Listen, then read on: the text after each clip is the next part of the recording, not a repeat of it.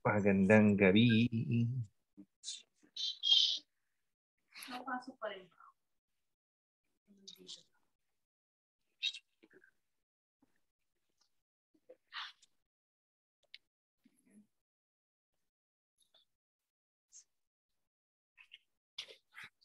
Good evening, Pastor Team. Good evening, Brother Cons.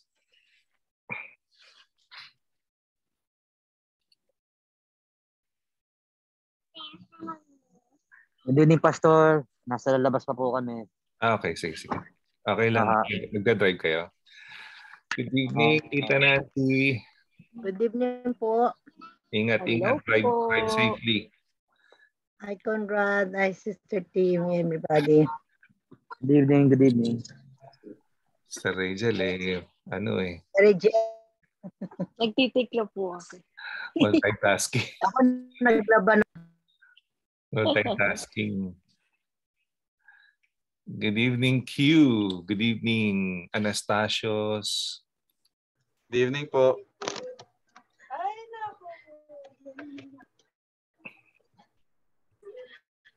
Good evening, Allison May. Good evening, Sister Jaya, Sister Vilma. Here comes Jeannie. Good evening, Jeannie.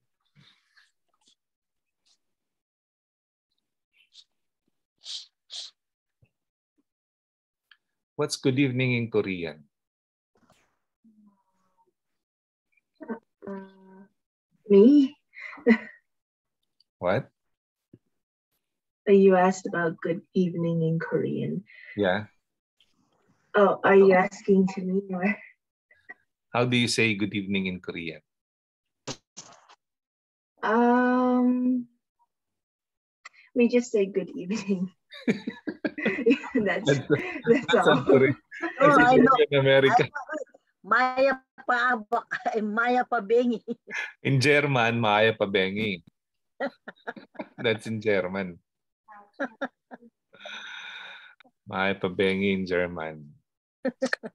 Good evening, Tyron, CJ, Brother James. What else is here? Good evening, Anastasios. Happy birthday uli, Sister Jasmine. Ano ka ba? 13 o 14? 14 po today. Oh, day Today talaga po. birthday mo. Today po talaga. Thank you po. So kahapon po, 13, 14 sa Pilipinas. Kaya birthday ko. Ah, kaya kasi minsan 'di ba madami nang bumabati sa Facebook. Opo. Mhm. Oh. Yun ang maganda sa Happy US birthday dalawang birthday. Mhm. Happy birthday again, Jasmine. Salamat po.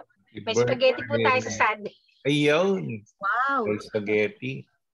Ano ba yan? Finally, may carbo ako.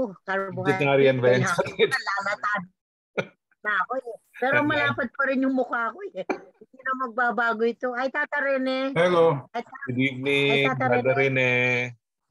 Ugi pala ni Tata Rene sa ano. Ay, syempre. Heart Masakit ka, mahina, mahina po kasi mata ko eh. Medyo, mahina.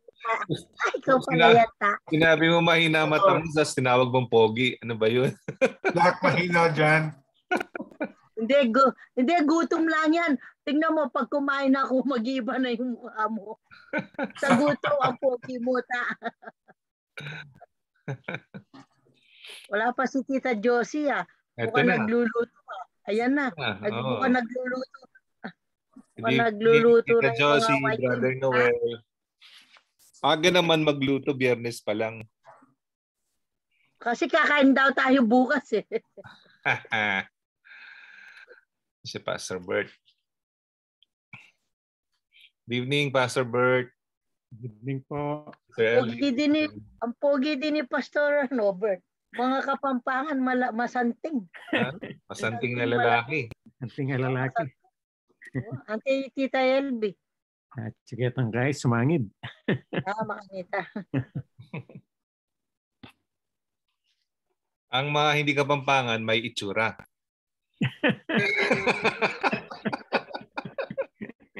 Sabi ko, sinabi mong pangit. sabi ko may itsura.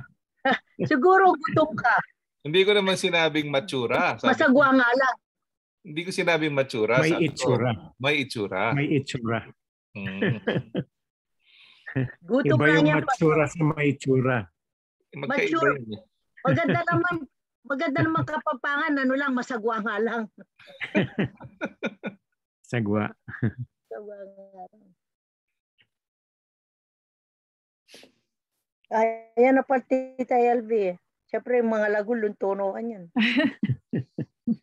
Ah, maganda nga sa ano sa tawag nito sa ah, yung Easter service natin. Ah, babasahin natin yung John 3:16 sa iba't ibang lingwahe. 'Di ba? Sa Kapampangan, sa Bicol, Ilocano, Korean. Korean. Yeah. Basta kung ano yung nasasalita mo, yun ang ano babasahin natin. Ano ano ano na ano ano ba mga nasasalitaan yung ano? Nasasalitaan yung ah, lingwahe. Ikaw Tyron, ano nasasalita mo? BTS. Sabi ko po English. Kasi kahapon po yung joke na parang, bag tayo, parang hindi daw tayo naging English church. So sabi ko parang English. Oo. So, okay. Start na tayo habang ah, parating pa lang yung iba para makarami. Maabutan ng 9.30. Oo. Alright, here we are. Sarap, Sarap. Na sharing. Manalangin tayo. Let's bow our heads and close our eyes. Maraming salamat, Panginoon, sa napakagandang tinuro mo sa amin ngayong gabi patungkol sa mga ups and downs sa mga hari ng Israel at ng Judah. Mm. Ah, ganun din Panginoon na salamat sa mga lessons na pwede naming i-apply sa buhay namin. Pagpalain niyo Panginoon ang aming ah, pag-uusap-usap, kayo po maging aming pastor at teacher. Naway matuto po kami ngayong gabi. In Jesus' name, Amen. Amen. Amen. Welcome to the final fifth of fifth, five of five. Natapos, no? Natapos ang di natin napapansin ang ating uh, uh, five-day prayer and fasting. And uh, this is the final night. So 12 midnight. Oh. Kung, eh, pero kung na, meron naman mga nauna sa inyong napaaga ng mag-fasting, pwede nang kumain ng ano, ng uh, gusto nyong Hindi naman, kainin. hindi naman break. Wag lang kayong mag-break ng ano, ng biglaan. Na-attend kayo ng buffet bigla bukas. Sasakit ang tiyan nyo. So, dahan-dahan lang. hanggang sa. Pero kung sabi nga, eh, gusto nyong gumanda ang katawan at magbalik kalindog, tuloy nyo na yung Daniel's fast. Di ba? Hindi naman na bawal, pero i-minimize nyo na yung ah, ano, yung ah, soda, yung meat, yung ano, yung ah, mga sweets or anything. Um, good evening, Giselle. So, let's start. All right. So, sa gabi na to, eh, kung sino-sinong mga characters. Ang napansin nyo ba, unti-unting lahat ng mga pangalan sa church na babanggit. yeah. Di ba? May Elijah tayo, may Elisha tayo, meron tayong Daniel, meron tayong David, meron tayong, lahat ng mga pangalan sa church eh, meron, nababanggit. Oh, tapos uh, I'm sure na, na, na, na narinig nyo tungkol kay Elijah, kay Elisha, ano ba yung double portion of anointing, no? si Naaman na, na na pinagaling sa ketong, 'di ba? Siyempre si Elijah yung fiery chariot, chariots niya. O tapos nakilala niyo si Jezebel. Hindi yan yung ano ha, hindi yan yung uh, ano pangalan? hindi yan yung yung sirena. si Jezebel yung uh, prinsesang ano uh, masamang espiritu. Oh. Nakilala nyo rin si uh, mga iba't ibang klase ng hari, sina Hosea, no, pagbagsak ng Israel, sila una yung sinakop ng ano ng mga Assyrians, no, pangalawa pa uh, hindi pa nasasakop ng ano ng uh, Babylonians ang uh, Judah, no. Tapos uh, bumagsak na rin ng Judah and then ang huling-huling hari ng Judah, sino si Josiah. Yung batang-batang ano, 8 ba yun o 9 year old lang yun, no? So, kabata-bata, 8 years old lang siya at uh, nag-reign siya ng 31 years o 39 years old nung natapos siya sa kanyang reign. So yung huling hari ng Judah. Kasi bakit? Kasi nga sinakop na sila ng Babylonians and uh, Assyrian. So basically naman yung second yung first and second chronicles ay uh, tawag doon mga affairs of the days halos inu- inulit lang yung ano eh yung mga story ni David, Solomon, di ba? So tsaka yung mga genealogies. So okay, game na ba kayo? Sino gusto magsimula? Ang anak na may biyayang pasibay. Ang God's faithfulness to His people will never fail even when we do. Sinong gusto magsimula? Ali, miss. Tawag na tayo. Mawi na ako ni Pastor Ren. Tawag na tayo. Sinong gusto nating uh, unahin? Unahin na natin, siyempre, from Tandaranan. Punta tayo sa ano, bahay ng mga Raymundo. Ayan. Nagulat si Tyron. Alright. Raymundo, gusto niyo magsimula?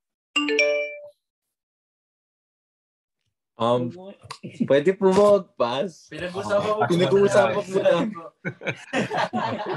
Unahin na natin ang ano, Beverly Hills. Beverly Hills. Pasok. Beverly Hills. Pastor Bert and Tita LV. Mauna na daw kayo. Pass muna ang Raymundo. Eh, ano po, nag-uusap din po kami. Pero ano po, yung nakita ko po kasi sa sa nangyari sa Second Kings, halos lahat po ng hari ata nag-fall. Na, Mm, na yeah. kasama sila. Pero They gayon, reign good and yet they fall. pero pero ma, ma- meron naman din po namang silang nagawang kabutihan at meron din naman nag-fall din po sila after that. Pero Mm. the Lord po, nakita ko po dito yung God's faithfulness pa rin sa sa kanila. Mm. Kahit na mag-fail po sila, kahit na ano pa nagawa nila, the Lord is still faithful to them. Uh, binless pa rin sila. Meron pa rin naman nangyari sa kanila, lalo na po pag yung generation nila, meron lang, kaya lang nababawas po yung yung blessing na ibibigay ng Panginoon sa kanila. Mhm. So, yun po yung nakita ko. Sa atin po bilang Kristiyano, kung talaga pong believer tayo, o if we really are Christians, meron naman pong salita ng Diyos na nag-guide sa atin to be on the, on the right path. So, yun po yung ano ko sa sa sa aking ano nga, sa Takeaway. aking takeaway. Take away. yung takeaway. yun po yan, yung pag pag bilang isang Kristiyano para hindi ka mawala sa sa relasyon mo sa Diyos, uh, you have to seek the Lord and you have to read the Word para po palagi kang nasa right path. Mhm. Yes. All right. Thank you, Tita LV. Pastor Bert. Oh, praise God. Ah, sa Second Kings na tayo, no? Opo. Yung kaya ano po siguro, Pastor, yung, kaya, yung takeaway ko dito, yung, yun nga, ah, yung ah, ah, King Hezekiah, ito yung ano, na, naging tapat sa Panginoon talaga. He, he really uh, seek the Lord, no? And dito sa kanya, ang ang nag-umpisa yung ano, yung cleansing, no? Cleansing of the temple and at the same time cleansing uh, the very heart of the people, no? Na makikita natin yung tin- tinanggal niya yung mga uh, altars of Baal, uh, lahat ng mga pagan worship, no? Surrounding the the temple. At uh, ipinokos lang niya talaga yung the true worship ay dun sa templo, no? Kumbaga eh, he remove all those uh, uh, mga Diyos-Diyosan, kumbaga sa atin. At ang talagang tunay na pagsamba is sa ating Panginoong Yeso Kristo. Kung i-apply po natin ngayon. And yung mga Asera poles, yun yung mga ano, yung mga ito yung mga remnant ng mga Canaanites na na iwan nila ng mga Diyos-Diyosan nila, yung mga parang poste na ito yung may merong mga ukit-ukit na mga Diyos-Diyosan. And then he also destroy yung babasahin nyo, yung, ah, di ba yung during the time of Moses, yung nito, yung ginagamit na medical term o ano ngayon, Bronze symbol serpent. yung Bronze yung serpent. serpent, no? Yun din eh. Because of that, eh, they thought that uh, having that serpent, they can, parang naging amulet sa kanila. Mm. At bandang huli, we know, we know worship na rin. So, he also destroyed that one. Ginawa ng Maki- agimat. Yeah. So, makikita natin sa kanya na during his times ay nagkaroon ng revival na masasabi natin Mm. uh, within the within the church no at yun ang ginawa ni ano ni Ezekiah. Uh, his commitment no makikita natin sa kanya. He seek God then his total commitment to the Lord and he restores God's word no? Mm. uh, binalik niya kung ano yung dapat gawin sa templo. Mm. yun po yung mga nabasa ko kanina at saka yung mga nakita ko mga mga babasahin pa tungkol sa Ezekiah At saka po, kumbaga, ano rin eh, ah, makikita niyo yung irony lalo, na sa ating mga Pinoy. Di ba? We are 80% Catholic. Pero yung irony natin na mahilig tayo sa ano ang gimat. Di ba? Lahat yung scapular, ginagawa nating agimat. Yung, ah, kumbaga, ah, basta kahit ano, pinabibendisyonan natin, palagay natin may taglay na kapangyarihan. Tapos saka nakakita ang simbahan sa buong paligid sa Quiapo, punong-puno ng nagbebenta ng agimat. 'Di ba? Nag, ah, nag nagbebenta ng dasal, nagbebenta ng ah, fortune telling, 'di ba? Which is hindi lahat sa Panginoon, as nakalagay naman sa Biblia. eh. Tapos nang magbe- nagbebenta pa ng pamparegla at pampalaglag. sa Quiapo. mga nakabote Mga nakabote pa. Kaboting ano, yeah yung mga ano, mga Roots. ugat-ugat. Parang ugat-ugat. Ako po noon, pastor, eh, natatandaan ko eh, yung lola namin, binigyan kami ng mga scapular. Mm. Alam niyo po yung scapular na Opo. kulay, Brown. Brown, Brown. square. oh, sinusuot ko po yun. Akala ko noon, nagimat yun eh. Yan. Pag tinanggal, mawawalan daw ng visa. So kahit Yeah. naliligo ka, suot-suot mo. Yeah, Yan. kulay brown na scapular. Yan. May, may ukit ni Mama Mary tsaka ni Jesus. Di ba? Yeah. Uh, naka, ano yan eh. Naka, naka, ano pa, ano yun? Naka plastic pa or uh, laminated pa. Pero ang ang ginamit ng pa- kasi uh, we need to understand na halimbawa s- yung, yung bronze serpent ng time ni Moses ginamit ng Panginoon yon para maging symbol no pero ang kapangyarihan nanggagaling sa Panginoon para manggamot yeah. Ang ah, yung yung lakas ni ah, Samson masyadong nag-focus ang ah, mga tao doon sa kanyang long hair Mhm. eh maputol at hindi, manggagaling din naman ang kapangyarihan sa Panginoon. Di ba po? Yeah. So, ah kumbaga fixated tayo sa mga bagay-bagay na nagsisimbolize. Pero sa totoo lang, dapat mas fixated tayo sa Panginoon. Good evening, Tita Minda. Good evening po. Ang So, gabi po, Good evening ho. Oh, so mad, ah, ano no, isang isang nabanggit na hari pa na mabuti, Pastor Bert si ano eh, si King Josiah, yung bata. Tito eh medyo sampal sa mukha ng mga matatandang naging hari kasi ito bata eh. Ah, kaya tama yung sinabi ng Biblia na ang puso mo dapat ay childlike faith. Kasi unadulterated eh. Kumbaga very focused yan sa tama, no? Ang bata walang halong mali siya eh naka, naka-focus sa tama. Eh. So ang ginawa niya, pinasira niya lahat ng mga idols, ng mga ano. So sabi niya, ibalik lahat yung tamang worship ng Israel so, sa panahon ni David. Parang ganun. So dito mapapansin niyo talaga yung uh, transition. So kung titingnan niyo yung lineage eh, sa Judah, 'di ba, nahati na, 'di ba, pag alis ni Solomon. Ah, hindi niya na na-turn over kay Rehoboam sa anak niya. O, pa- pakita ko sa inyo yung ano para it makes sense kasi minsan alam ko ah, nung ako bagong Kristiyano, hindi ko binabasa 'to eh. Itong ah, tinatawag na ah, genealogy, no? I-share ko sa inyo yung genealogy. Yan, nakikita niyo ba yung genealogy? Makikita niyo to sa Matthew chapter 1, no? genealogy of Jesus Christ. Ang ibig sabihin nito, an account of the genealogy of Jesus, the son of David, the son of Abraham. So, di, uh, dito makikita natin from Abraham to David, no? From Abraham to David, si Abraham, no, naging anak niya si Isaac, si Jacob, si Jacob naging anak niya si Judah at saka yung labing isa, si Judah naging anak niya si Perez, kay Tamar, si Tamar, ito yung manugang niya na hindi niya alam na buntis niya pala. Kaya basahin yun, maganda yun. Si Perez, naging anak ng si Hezron, Hezron, Aram, si Aminadab, Aminadab, si Nashon, and then si Nashon, si Salmon. Si Salmon, naging anak niya si Boaz na napangasawa ay si Rahab.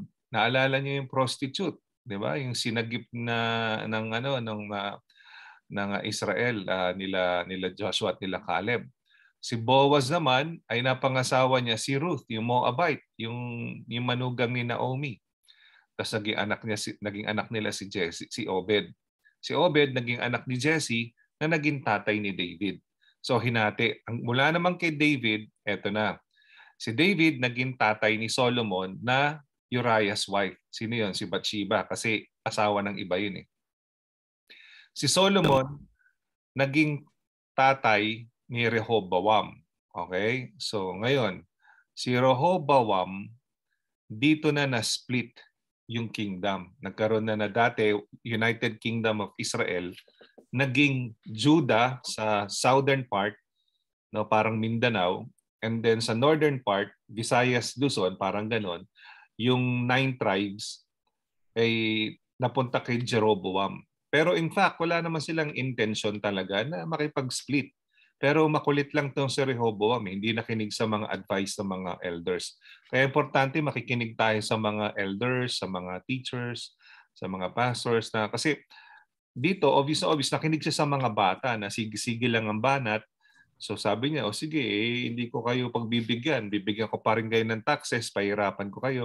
So yung nine tribes nag-split, naiwan sa kanya yung tribe of Simeon at saka tribe of Benjamin, na kapatid ni Joseph, no? Na anak ni Rachel. So mula kay Rehoboam, patuloy na ipinasa yung pagiging hari sa tribe of Judah. So sa, sa I'm sorry, sa kingdom of Judah. So si Rehoboam nagkaanak na si Abijah, si Asa, si Jehoshaphat, Jehoshaphat, si Joram, Uzziah, Jotham, Ahaz. Ahaz, naging anak niya si, si Hezekiah. Yun yung sinasabi ni uh, Pastor Bert si Manasseh, Amon, and then si Josiah. Si Josiah, ang huling-huling, yung bata, yung 8-year-old, no? Uh, huling-huli na hari ng uh, Kingdom of Judah. Pagkatapos kasi noon, eh na-exile na sila. Okay? Ayan, from exile to Messiah hanggang sa dumating na si Jesus. No, bakit sila na-exile? Kasi nga, sinakop sila ng mga mananakop. Parang tayo sa Pilipinas, sinakop tayo ng Kastila. Yung northern part, sinakop ng mga Assyrians. No? So sino ba itong mga Assyrians sa present time? No? Mga halo-halong Middle Easterners yan. No? At saka, uh, uh, kumbaga, somehow connected do sa sa ano sa bansa ng Syria pero more or less Arabo no? At uh, yung Juda naman hindi wala wala pa silang walang wala silang mananakop. Ang nasakop lang yung nasa ibabaw yung Israel. Yung kingdom of Judah sinakop naman ng mga Babylonians. Okay? Sino naman yung mga Babylonians? Uh, ito yung mga present day Iraqi ngayon. Arabo rin. So ito mga Babylonians ay kung matatandaan niyo ang sikat na sikat dyan ay si King Nebuchadnezzar Uh, siya yung hari nun eh. Okay, so si King Nebuchadnezzar, siya yung nagpagawa ng malaking ano, uh, ano yun, malaking uh, statue na itsura niya kasi gwapong-gwapo siya sa sarili niya. Gusto niyang maging Lord. Pero meron tatlong hindi yumuko, si Shadrach, Meshach at Abednego. No, siyempre, naglilingkod sa kanya nung panahon na yon si Prophet Daniel. Okay, bago tayo lumayo, no. So ito si King Josiah, balikan natin. No, pinaliwanag ko lang sa inyo na during this time sa tribe sa Kingdom of Judah No, ang huling-huling hari si King Josiah, pero kahit bata siya, ibinalik niya kung ano yung tama. 'Di ba? So wag nating sabihin na bata tayo. 'Di ba? Uh, ina-underestimate tayo. Ah, bata lang 'yan, walang magagawa 'yan, 'di ba?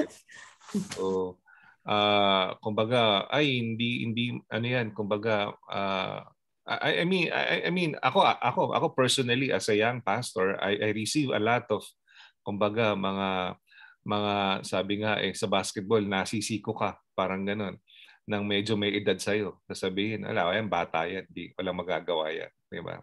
So it's not about age it's about result it's about your heart willing to give it to God di ba and this kid is only 8 year old alam ang tama mabuti pa yung bata di ba so ayun uh, Thank you, Pastor Bert. So madami pa tayong pwedeng pag-usapan. Nandyan din si Jezebel kung gusto yung pag-usapan. Baka gusto nyo siyang makilala. Kasi masama yung spirit nun. Dapat matuto tayo dun. no, na, uh, nandyan si Neyman, no, yung, uh, yung merong leprosy. Nandyan si... No, kaya uh, I, uh, I encourage you talaga to dig deeper na basahin yung uh, Biblia. Next, sino ang gustong sumunod na mag-share about sa Ayo po, kami, naka-ready na po kami. na ang Raimundo Brothers. Go ahead, Raimundo Brothers. Si, si Papa po magsisimula. Pa. Oh. Nagturo eh, no? Nagturo. Pastor, siguro dito na ano ko lang daw, parang, parang ang, ang takeaway ko dito, parang si God, ina, ina, ina, inaano niya yung message through the prophet to warn the people nga na to take away from sins, mag-repent, at kung hindi naman, magkakaroon ng consequences. Parang sinasabi niya na hindi ina-allow ni, ni, ni God yung mga sinful, uh, actions. sinful actions. May mga God is right. Yeah, pagka continue pa sila doon, yun, nagkaroon din sila ng undivided nation, parang ganyan. Yeah. Si CJ naman po. Ayun, um, to add lang po dun sa binanggit po ni Papa, I think um, the message po na uh, gusto rin po iparating sa atin is parang yung uh, through these books parang parang historical testimonies po to something like that so talaga hmm.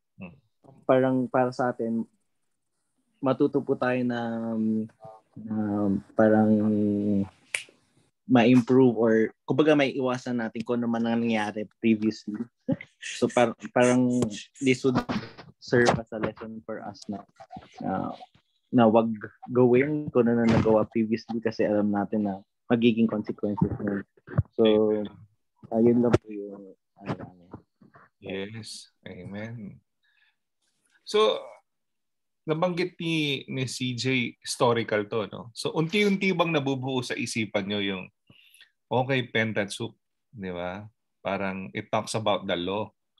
Di ba? Sinulat to ni Moses, limang libro, no? Patungkol sa simula nung ginawa ng Diyos yung, yung, yung mundo, pagkatapos hanggang sa bansang Israel, hanggang sa hanggang sa lumabas na sa Abraham, hanggang kay Joseph, di ba? Pagkatapos uh, nandyan na yung yung yung yung uh, pagiging leader ni ni Moses, no? Hanggang sa nata, hanggang sa ang daming mga apostasy ng ng ng, uh, ng Israel. Tapos natapos yung limang books na yon, pumasok na yung historical books. Labindalawa to eh. Nagsimula kay Joshua, di ba? Uh, Judges and so on and so forth. So ito, part to ng historical books. Tong first and second Kings ay parang ano to eh, parang Game of Thrones kasi it talks about the kings, yung mga hari ng Israel at saka ng Judah. No? At uh, dito nga divided na yung nation tapos mapapansin natin na paulit-ulit yung pagkakamali ng ginagawa ng mga hari. 'Di ba? Uh, ginawa na ng mga naunang hari, ulitin pa nila. Pero may mga nag-stand out naman na mga konting mga hari na okay naman, 'di ba? So, ang life application is 'di ba, parang nakita mo nang ginawa ng iba na mali.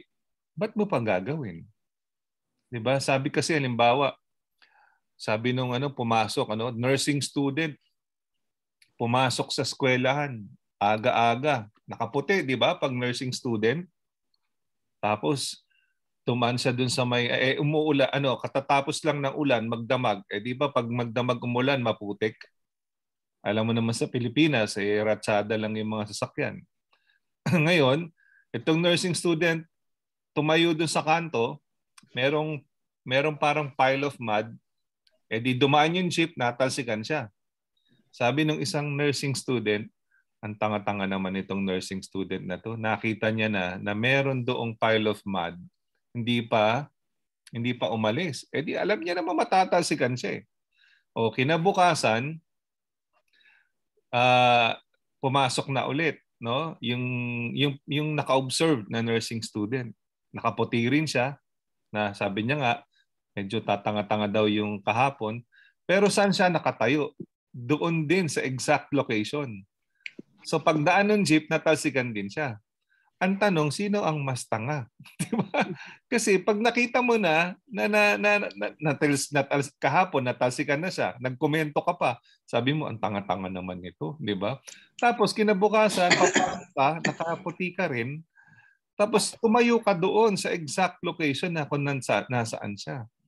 Di ba? Parang minsan, kung makatuya tayo sa ibang tao, tapos kagamitan pa natin ng mas tamang salita na parang, oh, words like, or ano mo yun, ang bobo naman nito, mga, mga demeaning words. Pero, pero ano, i, ma, mapapansin natin na, kumbaga, tayo rin, dapat matuto tayo sa pagkakamali ng iba. Di ba? So, ganun din to mga hari na to hindi sila natuto sa pagkakamali na iba. Tinalo pa sila ng 8-year-old na bata na natuto sa pagkakamali ng mga nauna sa kanya. Ayan. So ang life application natin, pag nakita mo ng mali na ginagawa ng iba at hindi nagwo-work out sa buhay niya, huwag mo nang gayahin, di ba? Huwag mo nang ano, huwag mo nang uh, uh, isang rason po no bakit hindi ako tumikim ng ng drugs or uh, bakit hindi ako nalulong sa drugs. Kasi nung ako ay nag-aaral, ang course ko nung college ay psychology. Meron po kaming uh, tinatawag na uh, clinical ano clinical uh, training no sa sa Holy Clinic of the Holy Spirit saka sa mental hospital. Napapansin ko po doon ang may sira ng bait eh mga drug addict hindi po, kumbaga somehow 10 to 20% lang yung mga minana sa magulang nila. Pero mostly 80 to 90% nabaliw dahil sa drugs. So sa nakita ko yon sa exposure ko na yon, eh bakit ko pag ba't ko pa gagawin, di ba? di ba? Sabi nga eh, nagsimula sa patikim-tikim. so, kumbaga, isipin mo na lang, ba't mo pa gagawin? Di ba? Nakakita ka ng buhay, magulo. O kasi ito yung ginagawa niya, 1, 2, 3, 4. Eh, ba't mo pa ulitin? Ba't mo pa kokopyahin? Diba? So matuto tayo, mabuti nga hindi na natin na-experience, pwede tayo matuto sa buhay ng iba. So matuto tayo na wag, wag gayahin. So I agree with the Raymundos. Thank you, Raymundos. Lipat naman tayo sa ano sa saan tayo lilipat? Saan niyo ba gusto? Okay, next uh, Hi, good evening Tita Amy, Tita Fe, oh. Tita Pepot, good evening. Okay, lipat tayo sa kay Allison. Allison. Ayan. Uh, Allison May. Love, love. Okay po. Um, for, ang takeaway ko po is about kay Rehoboam. Kasi, um, you know, like, nung pinalitan niya si Solomon para maging king, so he needed to somehow decide kung yun nga yung may mga nagpapayo sa kanya, may mga matatandang nagpapayo sa kanya which are the experienced ones. Tapos meron din nagpapayo sa kanya ng mga bata maybe same age sa kanya or a little like older sa kanya pero bat, mas bata pa rin doesn't have that much experience. Pero nag-advise sa kanya. So, para sa akin po, it kind of stimulates how, like for my age, um, good influence versus bad influence, the experience and versus non-experienced ad- advisors. Yung iba talagang may experience na at saka concern lang. So, sin- so sinishare yung pwedeng magaw while the other people are ano yung yung may iba kasi yung nagmamagaling sila na feeling nila na ay mali you're you're being treated unfairly. Dapat ganito ginagawa mo. You need to act tough you need to show that you know like ganon. So um yun po yung um that that kind of rem- reminded me of that. And then it it also showed sa story when Re, um wait anong pangalan na nahirapan ako sabihin. Rehoboam. It shows how um that Rehoboam's choice to listen to the people who weren't as experienced and then listening to them it led him to the wrong path. Yung sin- sinusundan siya maging matigas And then, pinairal niya yung pride niya instead na makinig siya. And then, um, like, pairalin niya muna yung isip niya instead of like the ego in him. So he's like, um, kaya tuloy nag-separate yung, you know, like yung tribes lumit nga, oh, nag, nag, nag-split sila, tapos lumit sila, and then that just made them weaker tuloy and then makes an advantage for other to conquer them for others to conquer them so iyan lang po. So parang if um minsan mahirap tanggapin pag sinasabihan ka ng mas may experience sa'yo tapos you, you feel like rebuke kasi sometimes.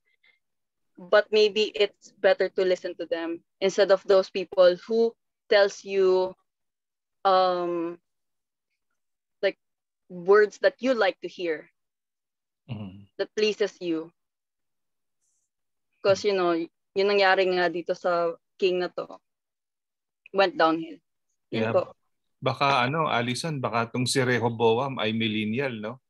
Kasi kasi sabi nila yung mga millennial ngayon matampuhin. Pag pinagsabihan, nagtatampo, di ba? Ah, ah, kumbaga ah, hindi lang naman yung mga millennial pero kahit naman nung kabataan kami or kabataan pa nila Pastor Bert, ganoon naman talaga ang lahat ng kabataan. Kumbaga um, they tend to parang, ah, I don't wanna hear it from you. You're just nagging. Alam mo yun. Pero sa totoo lang, ah, ang mga taong mahilig makinig sa mga taong nauna sa kanila, kadalasan yun na nagiging successful sa buhay. No?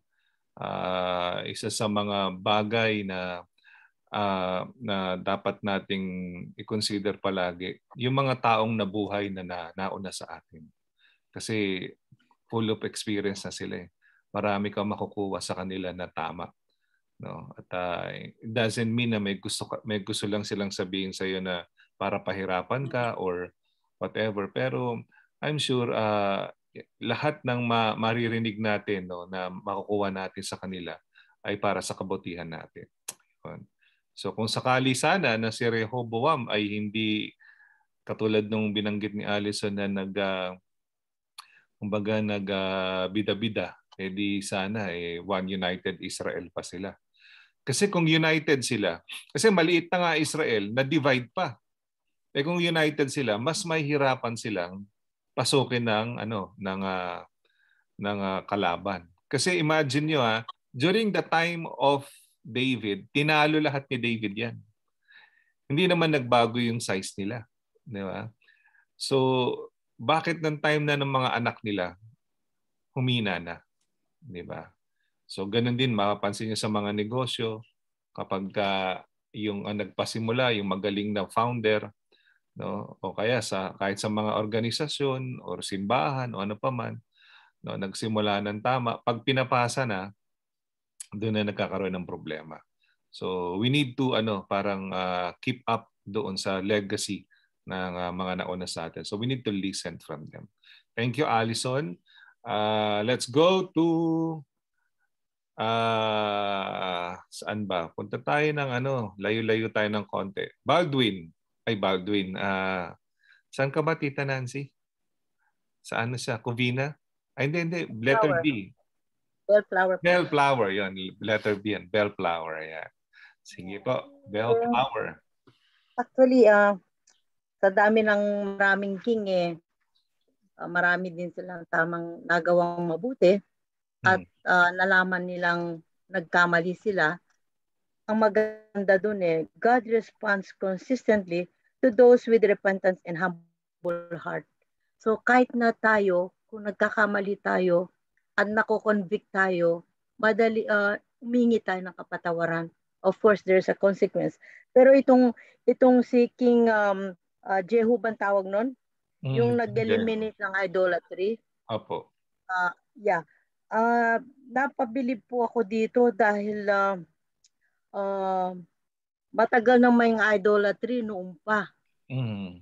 Pero siya mismo nakapag-eliminate siya ng idolatry. Parang yung uh, sa buhay sa buhay ko na mayroon po kaming uh, may mayroon kaming mga idolatry. Marami po kaming mga santo, santo dito, santo doon, Santo Domingo, San, San Jose, lahat po ng santo. Mm. Uh, dahil sa prayer po ng mga kaibigan ko at mga kamag-anak ko, it was an answer prayer after 10 years. So, ang tagal bago ko nag, nag-give up dahil po Monsignor yung aming uh, lolo. Ang hirap tanggalin po na nakita ko sa na bakit ako mag-idol ng iba? Eh, mayroon naman pala tayong king. Mayroon naman pala dapat i-idol kundi ang Panginoon. So for me, uh, eliminating idolatry is uh, very important sa sa panahon ngayon. Um, we are blessed that uh, we are Christian, but those who are not uh, Christian or may mga idolatry, I still keep praying. I still keep praying for others dahil uh, sa ano, yung experience ko po nung nalaman na naging Christian ako, gusto uh, dahil immigrant po im- immigrant pa lang ako noon. So nalaman ng kuya ko na naging Christian ako. Mm. Nagalit siya. Sabi niya kung alam ko lang hindi na kita pinapetisyon kay nanay. Mm. So ang sakit nun, yung kabago ka pa lang Christian tapos marami ng uh, marami ng pagsubok na Yes, buti pa hindi ka na dumating dito sa Amerika kung ganyan ka lang. So, nasaktan ako pero I keep on praying. You know po, ang kanyang mga anak, ang napangasawa ay mga Buddhist. Mm-hmm.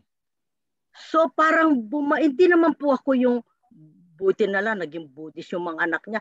Parang hindi po yung gano'n, yung bang noon inaapi niya ako. Ngayon, bumalik sa kanya. Bakit? Yun po hindi ko hindi ko po maano eh, yung yung mga anak niya ang mga manugang niya naging Chinese. Eh bakit po gano'n? Yun ang question ko. Bakit nung uh, nung nagalit siya sa akin, na ganyan ka, Christian ka, gano'n nga, ilang oras kayo nagsisimba, apat na oras, makasalanan ka kasi, gano'n, gano'n.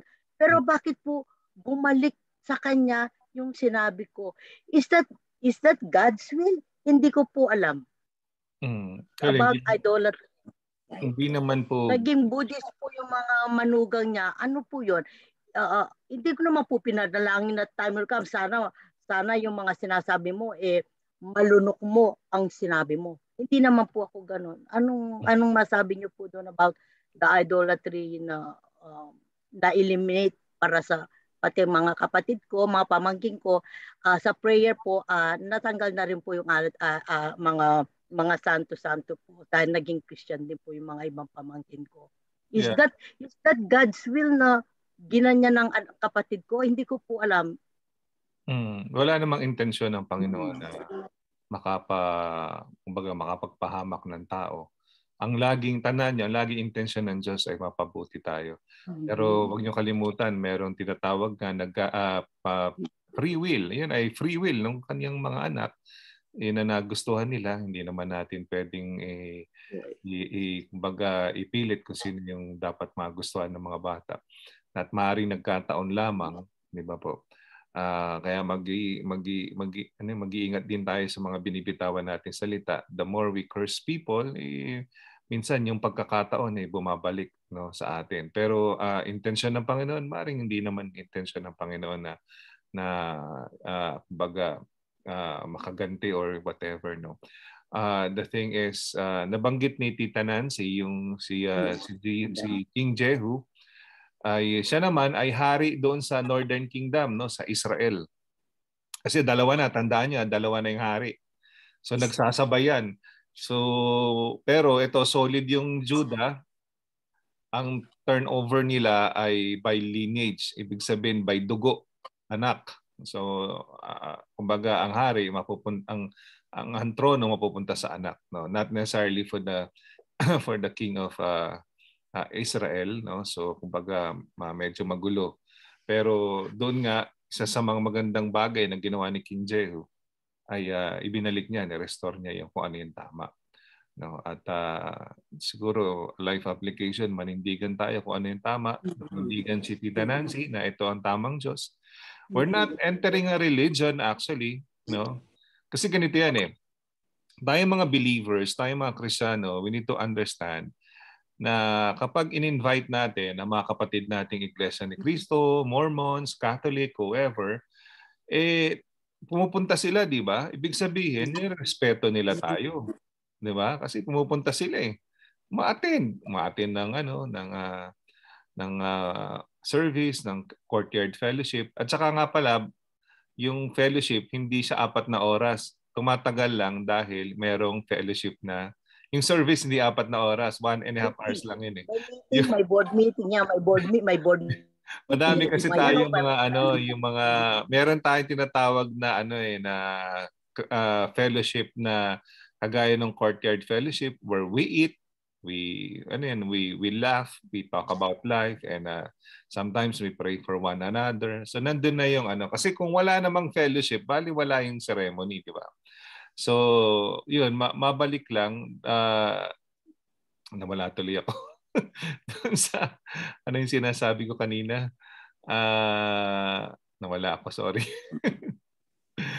uh, doon yung four hours yung four hours may fellowship yung Opo, uh, before na before na na yung sinasabi ko uh, uh, ayun basta pag naalala ko nag-ano ako eh nagbabuffer ako sorry uh, dami ako iniisip pero may pag naalala ko uh, babalikan ko yung ano yung sinasabi ni Tita Nancy ayun basta hindi intensyon ng Panginoon na mapahamak ang sino man No, ayun, sina, ayun pala, naalala ko na. Sinasabi natin, i-invite natin yung mga kapwa at nating Kristiyano sa ibang denomination, gaya ng Catholic, Mormons, blah, blah, blah. Nirespeto nila tayo. No, so ngayon, pag pumasok sila, do not push our religion. In fact, we don't have a religion. What we have yeah. is a relationship with Christ. So when, once they attend our church, they they don't join a religion.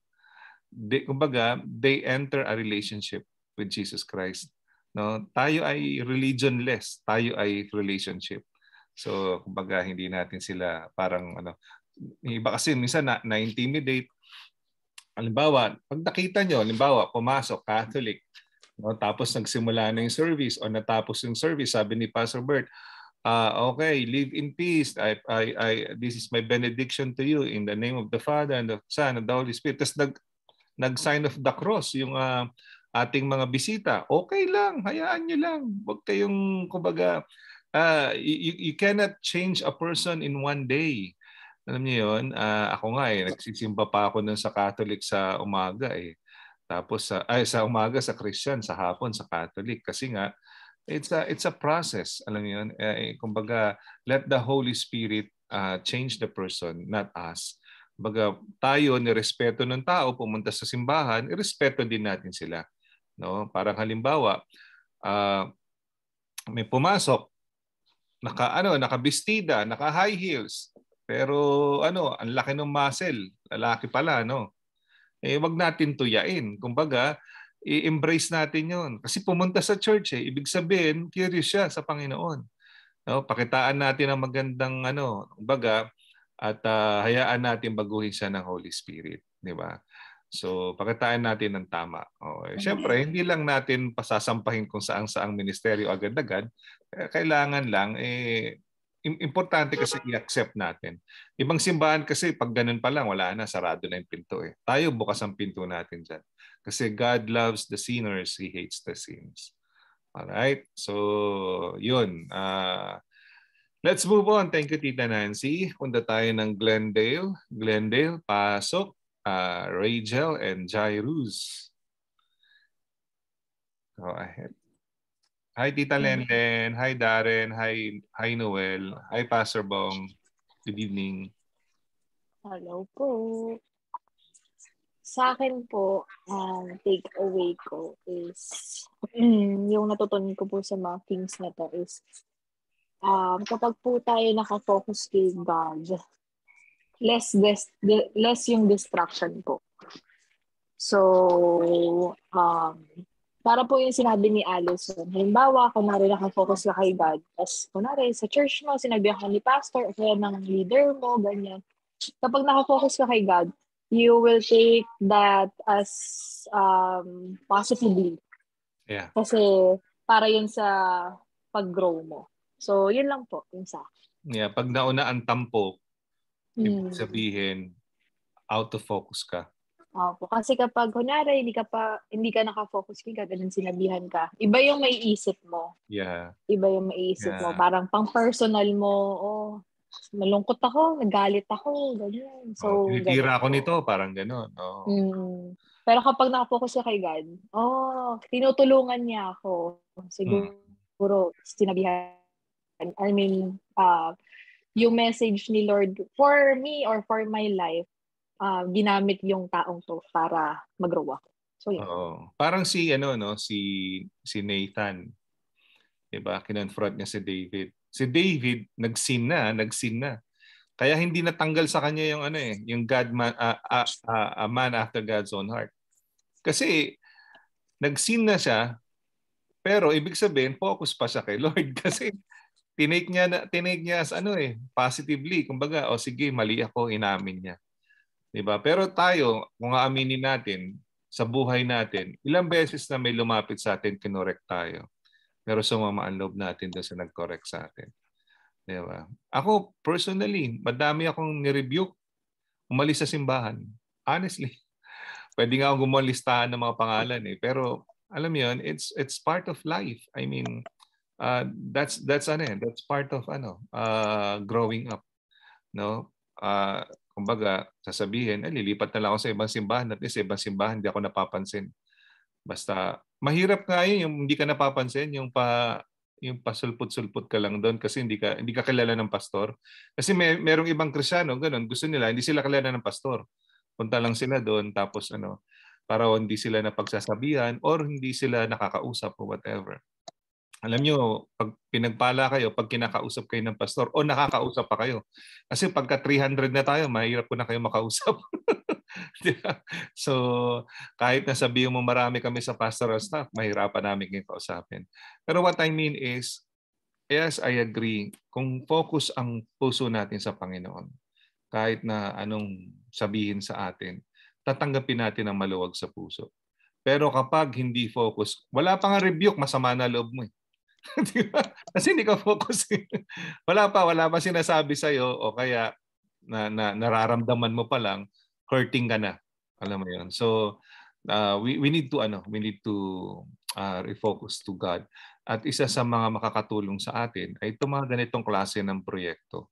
Na kaya wag natin palagpasin na magbasa ng Biblia, magbabad. No? Kita nyo, makakapag-reflect kayo. Yan yung tinatawag na rema. Uh, yung, yung words jumping out from our ano from our Bible. No, kumbaga na parang lumalabas siya na uy nakapag-identify ako dito kay Rehoboam. Uy nakapag-identify ako dito kay Naaman, dito kay uh, kay uh, kay Elijah, 'di ba? O kay Elisha o kaya kay uh, kay Josiah, no? Kumbaga nakapag-identify ka kasi uh, kinakausap ka ng Holy Spirit. Ayan. Kasi focus ka, no? So pwedeng focus ka at uh, talagang maganda ang relasyon mo sa Panginoon, pwede rin naman kagaya ni David, nagkasala ka na, pero pwede ka pa rin focus. No? Kumbaga, after God's own heart ka pa rin. Amen. So thank you, uh, Glendale. Let's go to uh, LA. Anastasio family. The birthday girl. Good evening po. Good evening. Excuse, Pastor, excuse. Go ahead po, tita. Ah, kasi kapapasok lang namin eh. Hindi namin, ano ba yung tinatanong yung takeaway tungkol saan? Ah, tungkol po dun sa ano. Nahihirapan ako i-follow up kayo. okay lang po. Ah, uh, ito po yung ano, yung uh, kumbaga ito yung diniscuss natin ng fast cut ng Book of Second Kings at saka First and Second Chronicles. Sa First and Second mm-hmm. Chronicles, wala naman masyado kasi halos inulit lang naman. Di ba? Kung papansin niyo no? Kasi uh, from the word itself, chronicle. So parang gumawa sila ng listahan ng mga pangyayari. So historical, parang ganun.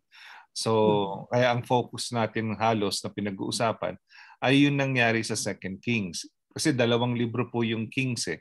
Yung First Kings ay patungkol doon sa isang famous na hari, si Haring Solomon. Yung kanyang life, yung kanyang rise and fall. Itong Second King, nung pagka-rise ni Solomon, na-divide yung kingdom.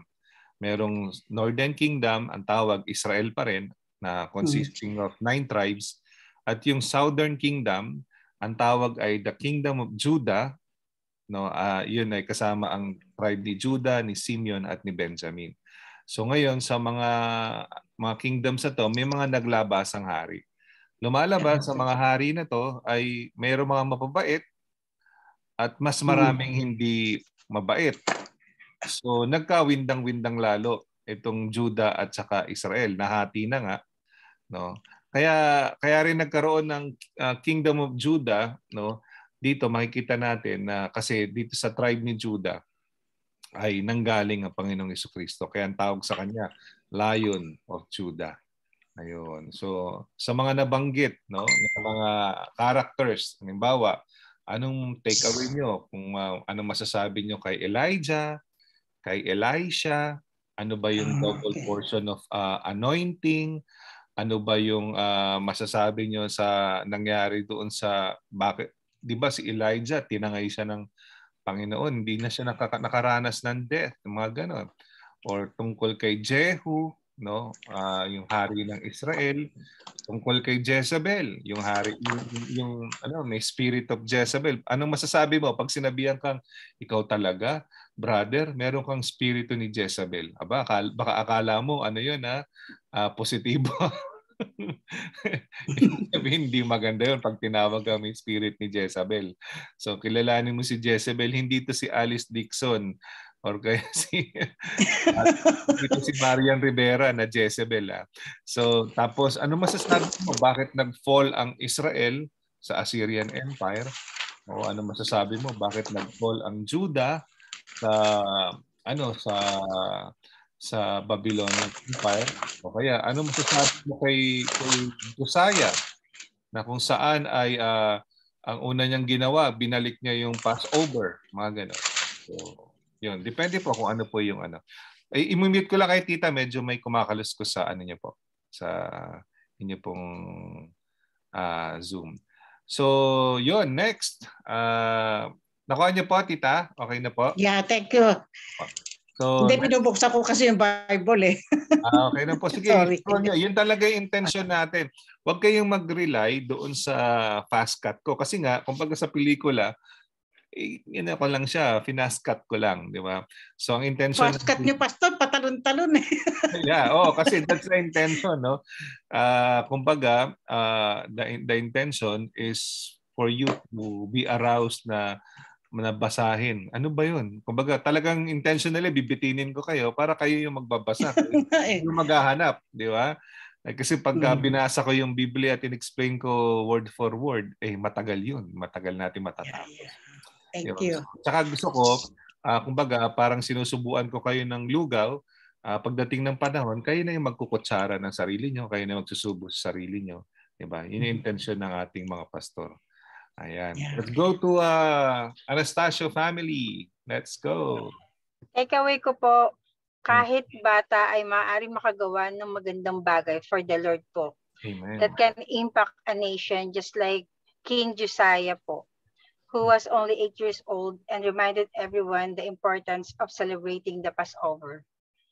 Amen. Amen. Na kaya po para sa ating mga youth po kung halimbawa may nagsalita sa kanila na wala kayong magagawa, huwag yung pasinin yun. Be strong in your faith and believe that you can make an impact. Po. Sabi nga ni Paul kay Timothy, di ba? Huwag mong hayaan na i-lockdown ka ng mga tao. Di ba? Kumbaga, lagi kang meron kang magagawa. Di ba? In fact, ang youth natin ay isa sa mga ministry na napaka-effective. Yung youth natin sa church natin, sila yung ah, minsan kasama ng sinag, minsan kasama ng piging, minsan kasama ng bisig ministry. Sila yung ano eh, sila yung malakas eh. Nasa prime sila ng kanilang ano, ng kanilang buhay. No, malakas sila, ah, malakas ang pangangatawan, malakas din kumain, di ba? joke lang, joke lang. so, ma, ma ano, tsaka ano, lagi silang nagbibigay ng vibrant sa church. No, pag ang church may youth, masaya. Pag ang church walang youth, malungkot. Maniwala kayo. Di ba? So, at ang youth, pagkatapos ng sampung taon, young adult na yan. Di ba? Mas maraming maibibigay sa simbahan. Di ba? Pag young adult na. All right. Thank you, birthday girl. Ganda naman nun. Ah, nabanggit ni, ni Sister Jasmine yung ano ah, Passover ah. So review lang, ano yung Passover? Kung natatandaan nyo, ah, si Moses, sabi niya, o i-release mo yung mga tao ko, yung Israelites, sabi niya kay Pharaoh. Ang tigas ng ulo ni Pharaoh, lahat na ng plague binigay, ayaw bumitaw. Sabi ni, ni Moses, mamamatay lahat ng firstborn mula sa unang anak, panganay na anak, no, hanggang sa panganay na anak na hayop, patay lahat. Pe- Pera lang sa mga sa mga Hudyo, sa Israelites. Anong gagawin ng Israelites? Maglalagay ng ng ano ng um, dugo doon sa kanilang doorpost sa pintuan. Tapos magpa-pass over yung spirit of death. Hindi sila ano, parang overpass, parang gano'n, di ba? May overpass na daan, parang parang flyover. Kumbaga, magpa-pass over sa kanila yung spirit of death. Di sila madadamay. Simula noon, bilib na bilib sila sa Panginoon, no? At ah, ginawa nilang festivity to, Passover. Ito mga sumunod na hari kay Solomon, hindi na nila ino-observe yung Passover. So ang ginawa ni Josiah, ibinalik niya. Ayan. Hanggang ngayon, binalik nila yung Passover. Ayan. So, thank you, Sister Jasmine. Let's go, Brother Aldrin. Okay po. Sa akin po, takeaway, we must be aware if there are Jezebels in our lives that can take us away from our Christian faith. Do not be influenced by their wrongdoings and keep the Lord our God in the center of our lives. So, example po na application, kunwari sa youth, meron kong crush na crush, Hmm. eh, iba naman yung faith nila, Hmm. tapos in-invite ka sa church nila, Hmm. dapat di ka nagpa- magpapadala sa religion nila. Kasi ma- malakas na yung faith mo kay God. Tapos sa atin naman adults, kunwari yung boss mo, Hmm. ano, gustong laging uminom, eh Christian ka, hindi masama na dapat tanggihan mo yun kasi Christian ka eh. O di ka, iimbitahan ko, yung boss mo manigarilyo, dapat you say no to that kasi you're a Christian, you're a believer. So ganun po, application. Yeah, kumbaga you decline it respectfully, no, in a respectful manner. Oh, kasi pag pagka sinabi mo naman na hindi pwede, boss, Christian ako eh, bukas wala ka ng trabaho. Mga respectful manner. Oh. Eh, respeto mo yung gusto niyang gawin sa katawan niya. Eh, gusto niya yung trip niya yun eh. eh. malungkot kung ginagawa niya yun. Siyempre, kung mapagsasabihan mo sana, eh, okay. Pero kung hindi, minsan may mga tao talaga, desidido na sila sa buhay. eh. Pero yun nga, pero may decision tayo na i-decline natin yung mga ganong offer. No? Kumbaga, ah, iwasan ang mga Jezebel sa buhay. Ito yung mga nega, masamang spiritu, di ba? O kaya eh, masamang influence or kumbaga puro toxic ang dala. Di ba? O kaya eh, kasi sino ba si Jezebel? Eh, ano to eh, kumbaga ah, hindi kabutihang babae. Parang ganon. So, iwasan natin yon. Una, iwasan maging Jezebel at pangalawa, iwasan ang mga Jezebel sa buhay. Hindi masamang lumayo pag di mo naman kakayanin eh, di ba? Hindi mag, mag, mag, magkamaniwala kay Satan na, hindi, Christian ka eh. Di ba dapat ano? Kasi sabi nung kaibigan ko dati, hindi, Christian tayo eh. Dapat pasukin natin yung beer house na yan tapos mag-share tayo sa mga ano mga GRO kasi Christian tayo eh, di ba? O sabi ko, subukan mong pumasok diyan, malamang niya customer tayo paglabas. kasi hindi mo kakayanin eh. Di ba may mga pagkakataon na tatawagin ka ng Diyos, may pagkakataon na sasabihin sa ng Diyos na retreat. Hindi ka pwede diyan, di ba? So, iwas-iwas sa mga Jezebel sa buhay. All right, next. Sino sino sino sino ang ano natin? Uh, susunod na na magsi-share. Pili tayo sa ano. So meron akong ruleta dito. Tita Amy from Huntington. Yan. How do you pronounce Huntington? Dapat ano, dapat slang. Huntington. Hi, Tita Amy. Good evening. Ah, Tita Amy, nakamute po kayo. Ay, ako po ang natutunan ko dito sa Kings 1 and 2, ganun. Ah, uh,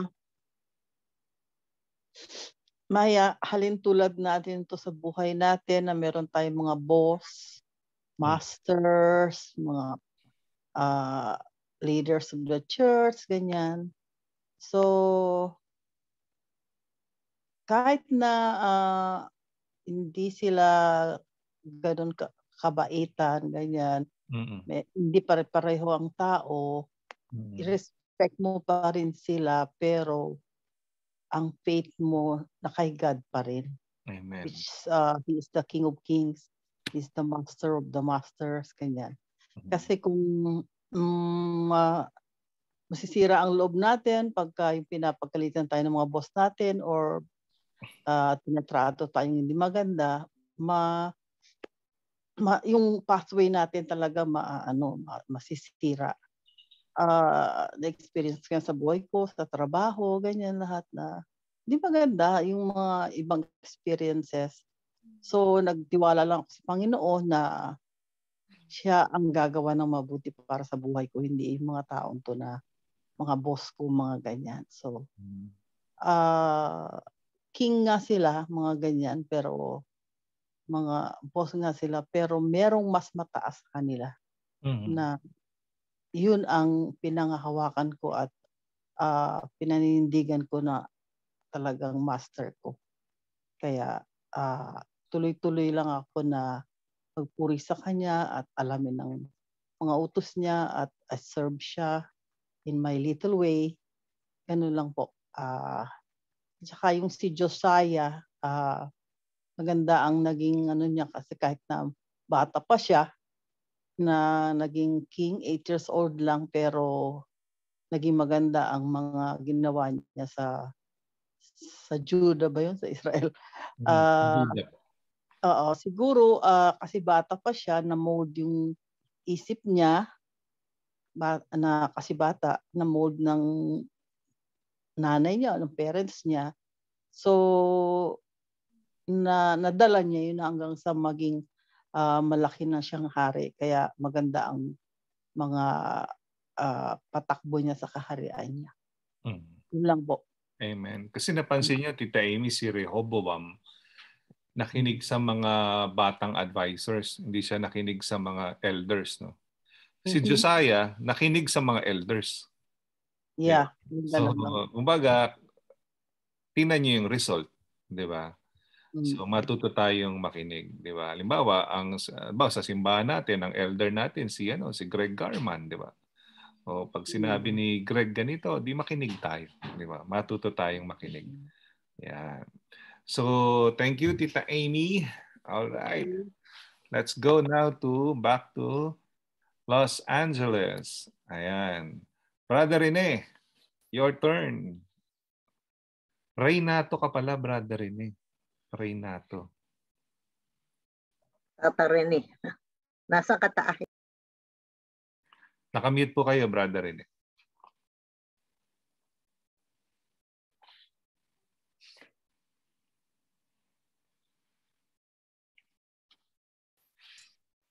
Hello. Magandang gabi sa inyo. Good evening. Uh, Dinadjot down ko yung ano yung mga nadinig ko at kayo na pag-uusapan. Uh, siguro i-collect ko lang kasi based yun sa experience ko from Catholic to Christian, Hmm. yung mga nabanggit sa mga- lahat na nag-click ko dyan, ang yung transition, uh, talaga makakaranas ka ng pang-insulto, minsan sa sariling pamilya. Ah, nadinig ko rin dito na nagsimula akong magsulat ng religion kasi may, may Bible verse ako na dinig mo. Hindi naman tayo na save kung tayo ay kasati ng isang religion. Tama ko ba yun? Hindi raw tayo na save dahil sa religion. Mm. Tama ko ba yun? Yes, opo. Tama. Tapos nadinig ko rin sa inyo na yung Christian is not a religion, but a relationship with God. Mm. Okay, Yes. so nakikita ko yung clarity doon, ano, yung mga difference dun sa bagay na uh, nakukonect. Sige na, sige na. Tapos yung uh, Bible, mga commandments, hindi lang 10, marami. I, ipinare, ipinarehas ko sa Constitution na gawa ng tao Mm. na sa pamumuno, sa pinag-uusapan natin mga hari-hari, rise and fall, bata matanda, common na dahilan kung bakit uh, bumagsak. Pero wala yata akong nagdinig na ah, pag-aalsa galing sa mismong area. Ah, ano tawag doon, kudeta, parang ganon. Wala, Hmm. na, wala, wala pa ako nagdinig. Ngayon, ah, doon sa klase ng mga namumuno, uh, ruler, priest, minister, teacher, etc. Sa una, obedient sila sa Bible. Pero pagka sila nandun na, nagkakaroon na ng pans- pansariling interest base doon sa uh, uh, naranasan nila yung pain, lahat, and everything para nababago. Kasi tanda yan ng isang tao. Mahina talaga. Ngayon, doon sa idolization din, talaga napakahirap yan. Uh, magka, magkaka, magkakapatayan pa ano, pero uh, para ma-resolve natin yun, like yung sa elders, pakikinig sa elders saka sa mga bata. Sa elders, siyempre makita mo yung nakaraan. Sa mga bata, makita mo yung future. Pag pinagsabayin mo yan, dapat pagsabayin. Para magkaroon ka ng uh, ma-sharpen, magkaroon, magkaroon ng alin ang aalisin mo, alin ang applicable, alin ang, alin ang hindi. Kasi kung isa lang, hindi mo makita yung future. Kung yung future lang, hindi mo maranasan yung call. Kasi sila pinagdaanan nila yan. Eh. Siguro, pa, uh, ito pa yung isa, yung respect doon sa mga hindi, ano, pag in-invite tayo, nag-invite, nag-invite din tayo sa atin, uh, respect ko, ano. Siguro, Pastor, ano eh, minsan, dapat magpakilala, magpakilala ka rin talaga kung talagang uh, tanggap mo na kung ano ka, kung Christian ka or what. Kasi base rin sa sinabi kanina ni Aldrin, na, oh no, no, no, kasi Christian ako. Kung talagang believers ka, hindi ka na dapat magunta. So, isusuma po natin yun, ano, lahat-lahat, yung pinag-uusapan natin. Ang masasabi ko, see for yourself, ano yung natutunan mo? Ano yung kusang ginagawa mo? Hindi pilit, kasi sinabi ko paggabi. Kasi from there, pag nakita nila yung difference, sila na mismo ang magkukusa. Kasi napakahirap mag-utos kahit sa anak mo, hirap mag-utos eh. Anak mo na yun. Hamot mo sa ibang tao. So siguro dapat nating baguhin based sa reference sa mga luma, lumang tipan, bagong tipan. Present situation ngayon, lagi may pagkakaiba kung pagbabasihan natin yung mga bagay na yun. Pagbasihan natin yun, sarili natin, paniniwala natin. At paano tayo kumikilos dun sa paniniwala natin. Yun ang magiging uh, outlook. Yun, doon ka makikita doon ka makla, hindi mo na kailangan yayain. Hindi mo na sila kailangan utusan. Tatanungin nila, pare, saan ka ba ngayon? O, pare, ano? Kasi, nag-change ka kasi alam nila kung sino ka eh. Alam nila gago ka, alam nila ka. Let's say, from my own experience, pulis ako. Sa totoo lang, takot ako sa pulis. Kasi tatay ko, taxi driver. Pag walang uwing pera, ang dahilan sa nanay ko, nahuli ng pulis, naglagay sa pulis. Hindi away, nandinig, nandinig ko yun, nakalakihan ko na yun. Tapos ng panahon na lumalaki na ako, nagkaroon ako ng interes. Sabi ko, bakit pa ganun ang pulis? So, inalam ko yung pulis. Uh, fortunately, naging pulis ako. Hindi ko rin kagustuhan dahil wala kasi yung pasukan ng trabaho. So nakita ko ano yung good and bad. Ang pwede ko sabihin para paigsiin natin, kahit anong pwesto, kahit anong sitwasyon, kahit anong pagkakataon, lahat yan, kung gagawin mo masama, kung gagawin mabuti, nasa iyo lahat yan. Wala yung attachment, wala yung lahi, wala yung kung ba anong bansa. Katulad natin mga Pilipino, punta ka ng Amerika, sinusunod natin kung anong batas nila rito. Pero sila, yung mga maunlad na bansa pumunta sa third country, sinusunod ba nila? Itatawanan pa tayo pero wala tayong magawa. Kasi malaking tao sila. Yun, doon ako, doon ako naiinis minsan pag uh, ano. Pero kaya mo palang sumunod eh. Bakit sa sarili mong bansa, gumagaya ka na rin sa may laking tao ayaw mo na rin sumunod kasi you know. So, ang uh, may babahagi ko, uh, wag tayo masyadong tumingin. Gamitin natin yung uh, karanasan, gamitin natin yung lesson. Tapos, ikilos natin ano ito sa kalooban natin. Mag-reflect yung usay. Kasi alam ng tao kung nagkukunyari ka lang, kung nag, nag, uh, nagbabadal-banadan ka lang, nagbuti-butihan ka lang, pero yun naman, ganun ka naman talaga.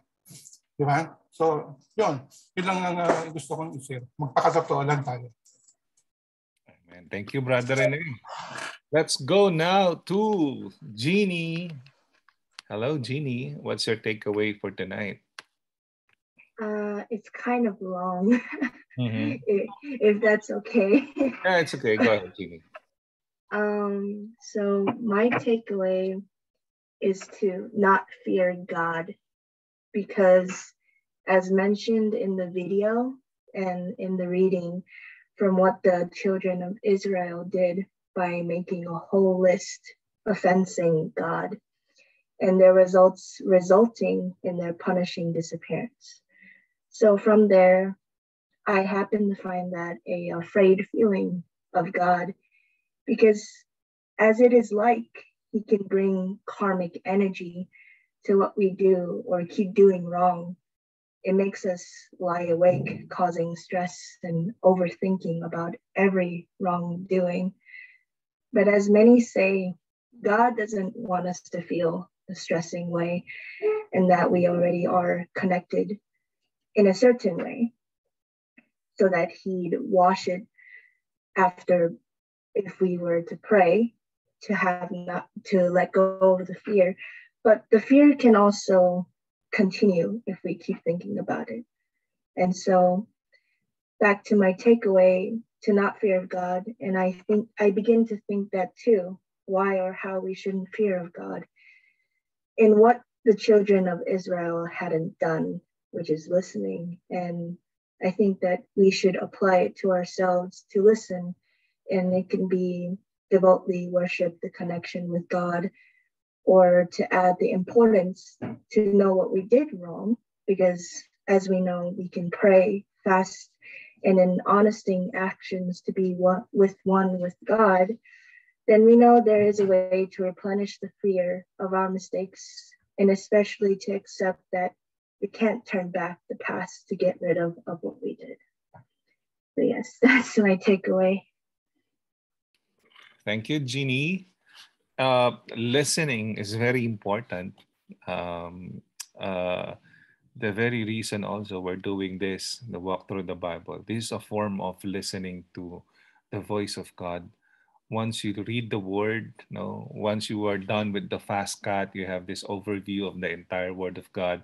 And then eventually, I hope that uh, each and everyone will start to dig in deeper read the word word for word uh, in in accordance to whatever version you want to use.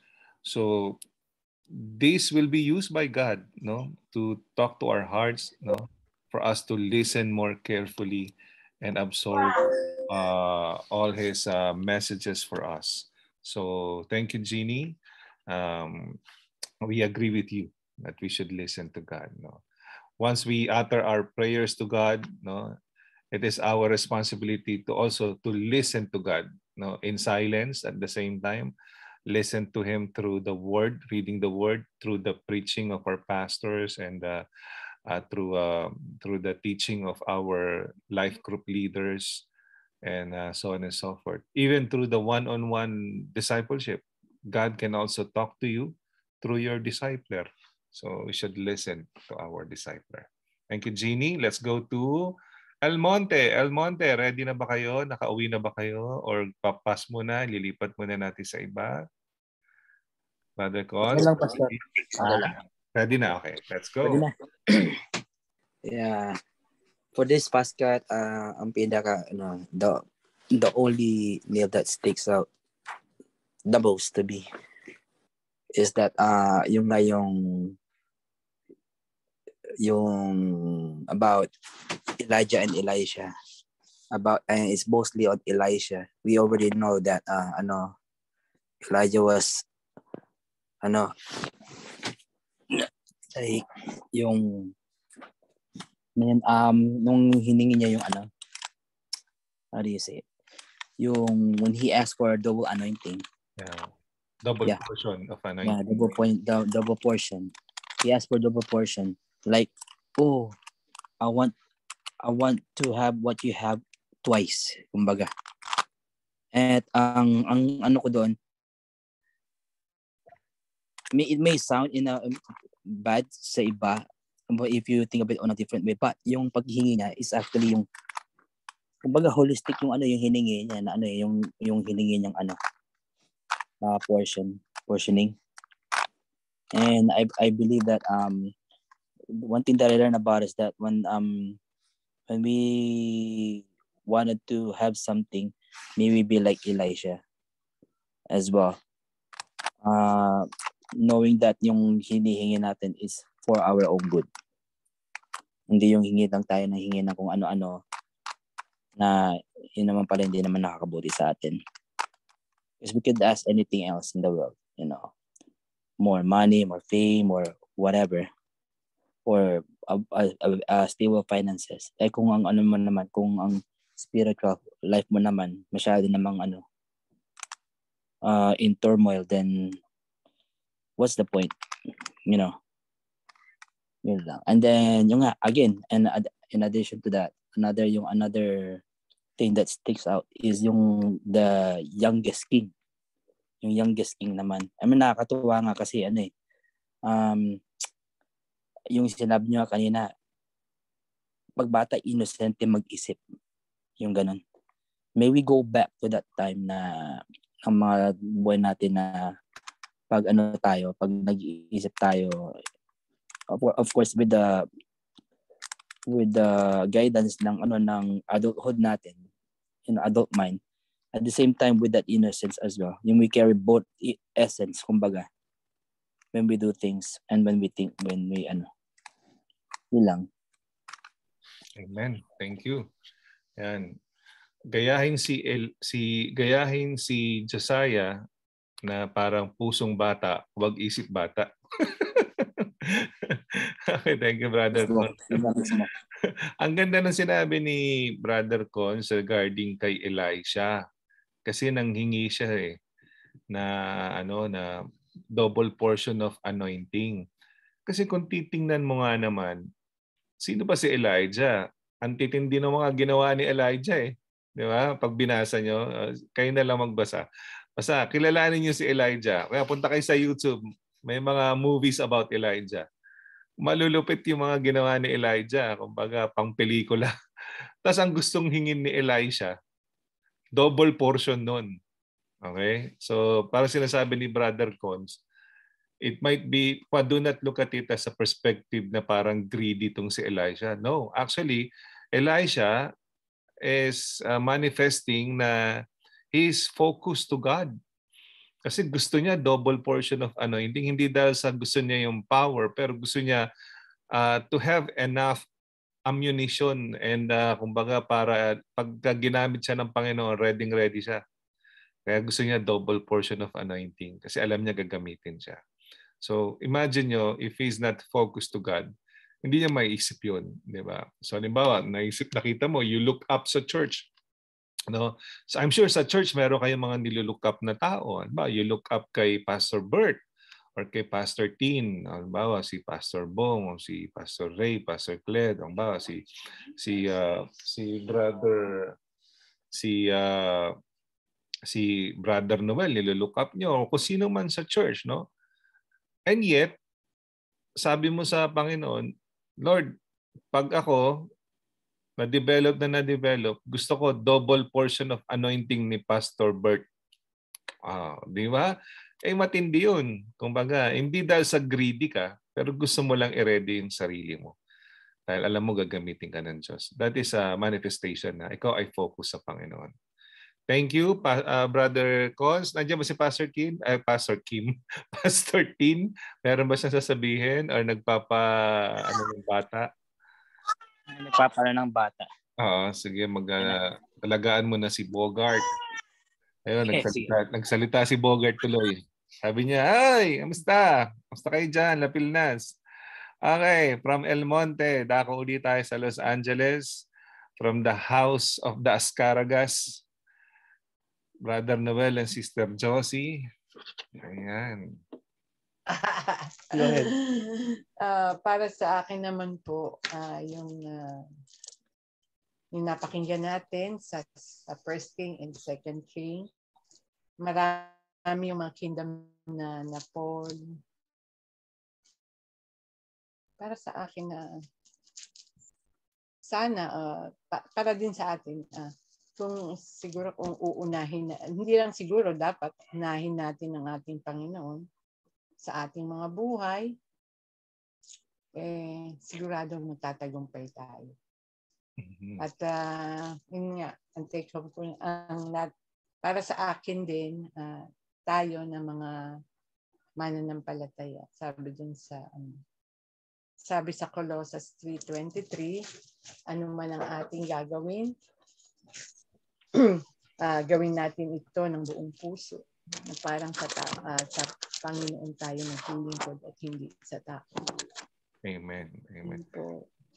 Pag, Tita Josie, Tita Josie, pag sinabing kung ano man ang ating gagawin, Apo, kahit anong ang gawin kahit ano to, kahit na, kasi minsan parang sa church, yeah, sa church minsan parang meron tayong level of hierarchy eh. Parang, ay, ay ano, mas maganda yung posisyon niya kasi siya yung nagpipreach o siya yung umaawit o siya yung tumutugtog. O, itong sinasabi ni Pablo sa mga taga-Colossus, Yeah. kahit ano. Kahit ano po. Ibig sabihin, pati ito sa, alam niyo naman, kita niyo naman, eh, talagang yung pinapakitang spirit of excellence ng piging pagdating sa pagpapakain sa atin. Meron pa silang Bain Marie ngayon. May mga patolda-tolda na sila ngayon. May mga, kumbaga, that is actually, we benefit from that. Pero second favor lang yan para sa atin. Ang gusto talaga nilang i-please doon yung Panginoon. Amen. Di ba? Kasi gusto nila talaga ibigay yung best sa Panginoon. So nakikinabang tayo kasi, di ba? So imagine nyo kung tayong lahat ganun ang attitude. Di ba? Parang yung mga youth natin, kung magbubuhat yan, kung magsasalansan yan, kung mag kita mo sila talaga na talagang galaw ng galaw, oh, aga-aga pa lang. So they're not doing that for to please people, but to please God. Please So God. So sinabi ni Tita Josie, kahit ano na Kahit ginagawa ano. natin, kahit nag-aabot lang tayo ng bulletin or kahit na pangiti-ngiti tayo sa mga bago or alam niyo yung bang pag may bago, lahat tayo lalapit tapos kakamustahin natin siya. Oy, kamusta ka na? Anong pangalan mo? Bago ka dito. ah. Welcome ka sa church namin. Eh pagka ganun tayong lahat, sigurado babalik yung ano, yung tao eh. Opo. Di ba po? So, ibig sabihin ng kahit ano, kahit anong ginagawa mo. Hindi lang sa church, sa bahay, sa trabaho, Kahit saan. kahit saan ka nandun, kahit ano. Yan. Thank you, Tita Josie. Brother Noel, your turn. Uh, na-discuss natin, we have discussed the lahat ng mga kings from Saul to Hosea and from one king to another king and to one generation to another generation and na, na mention niyo pastor na na, ah, na na pakinggan ko, narinig ko na if there is one king na the God uh, remember most is David. Mm-hmm. David. Kaya nga dun sa last part nung sa last uh, reign ng Judea, uh, inispire pa rin ni Lord yung kaharian. Mm. And because of the name David. Mm. So ang takeaway ko, uh, yung favor na ibibigay sa atin ni Lord, pag naging faithful tayo, Mm. hindi lang do sa lifetime natin. Magpapatuloy ito from generation to generation to generation. Amen. Hindi lang sa anak natin, sa mga apo natin, magpapatuloy ito sa generation natin. At dahil yon sa pagiging faithful uh, ni uh, ni David. Mm. Mm. Yun lang po. Yung Amen. takeaway ko. I agree, Brother Noel. Kung faithful, halimbawa tayo sa La Filnas. Itong batch, kasi ang La Filnas is since 1984, no? Tagal na, no? Pero particularly, no, kumbaga wala na tayong magagawa sa nakaraan eh. Tapos na 'yun. Kaya maganda nangyari, hindi maganda nangyari, hindi na natin concern 'yan kasi tapos na 'yun eh. Ang concern natin itong La Filnas batch 2020, 2021, 2022, di ba? Bakit? Kasi ito yung dito tayo tinawag ng Panginoon sa batch na to eh. So, kung magiging faithful tayo, ang ibig sabihin ni Brother Noel, kung magiging faithful tayo, may kalalagyan ang next generation natin. Magiging ano maayos ang simbahan ng LA Philnas. Mula sa mga anak natin, sa maiimbita nila, sa mga susunod pang generation. No, makakapag-iwan tayo ng magandang legacy, maayos sa simbahan. Susundan nila yung pattern na tama. 'Di ba? So it pays to be faithful. Tsaka ayaw nyo ba na simula noong 1984, itong panahon natin ang golden age ng La Filnas. Nax. parang ano yun, parang panahon ni David. di ba? I-claim na natin yun. Di ba? Na kumbaga, panahon ni Joshua, panahon ni David, na, di ba? panahon ni Solomon. Kumbaga, kung saan walang away-away, nagkakasundo lahat, nagtutulungan, dumadami, lumalago, di ba? natututo, nag improve at uh, umaga mas umaayos ang buhay ng bawat isa, di ba? So, yun ay something to claim for God, di ba? Not to please people, but to please God. Thank you, Brother Noel. Brother Noel. Punta tayong Glendale ulit. Ang uh, mag-inang Jaya and Vilma. Parang pelikula to eh. Jaya and Vilma. Bida kontra bida. Bida kontra bida. Joke lang po. Ako lang po today, Pastor, pero para sa aming dalawa na po. Kasi nagluluto po si nanay ng pang Sunday. Ayun, naaga. oh, masarap yun. Minamarinade na po. Oo, sige, sige. Anong takeaway niya mag-ina? So, para sa amin po, ang mensahe po ng Second Kings ay mayroon tayong two options sa kung paano natin haharapin yung mga difficulties natin sa buhay. Una, harapin natin ka na may pagtitiwala sa Panginoon na sasamahan niya tayo at gagabayan sa mga difficulties na ito. Or, i-ignore natin si God at susundin natin ang mga sarili natin and mag-end up gaya ng mga hari na na-mention sa librong ito. Um, dahil tayo po, tao lang, may free will tayo na gift din ni God. So, nasa atin po yun kung gusto nating mas maging malapit sa Kanya or lumayo sa Kanya at ipahamak yung mga sarili po natin. Yun lang po. Amen. Amen. 90, 95. Essay writing. Galing. Mataas siguro grade nito sa essay writing nung nag-aaral. Thank you. Hindi nga lang po ako dun eh. Thank you, Glendale. Let's go back to LA. Okay. Tita Minda. Tita Minda, are you there? Good evening. Yes, I'm here. Hello. Yeah.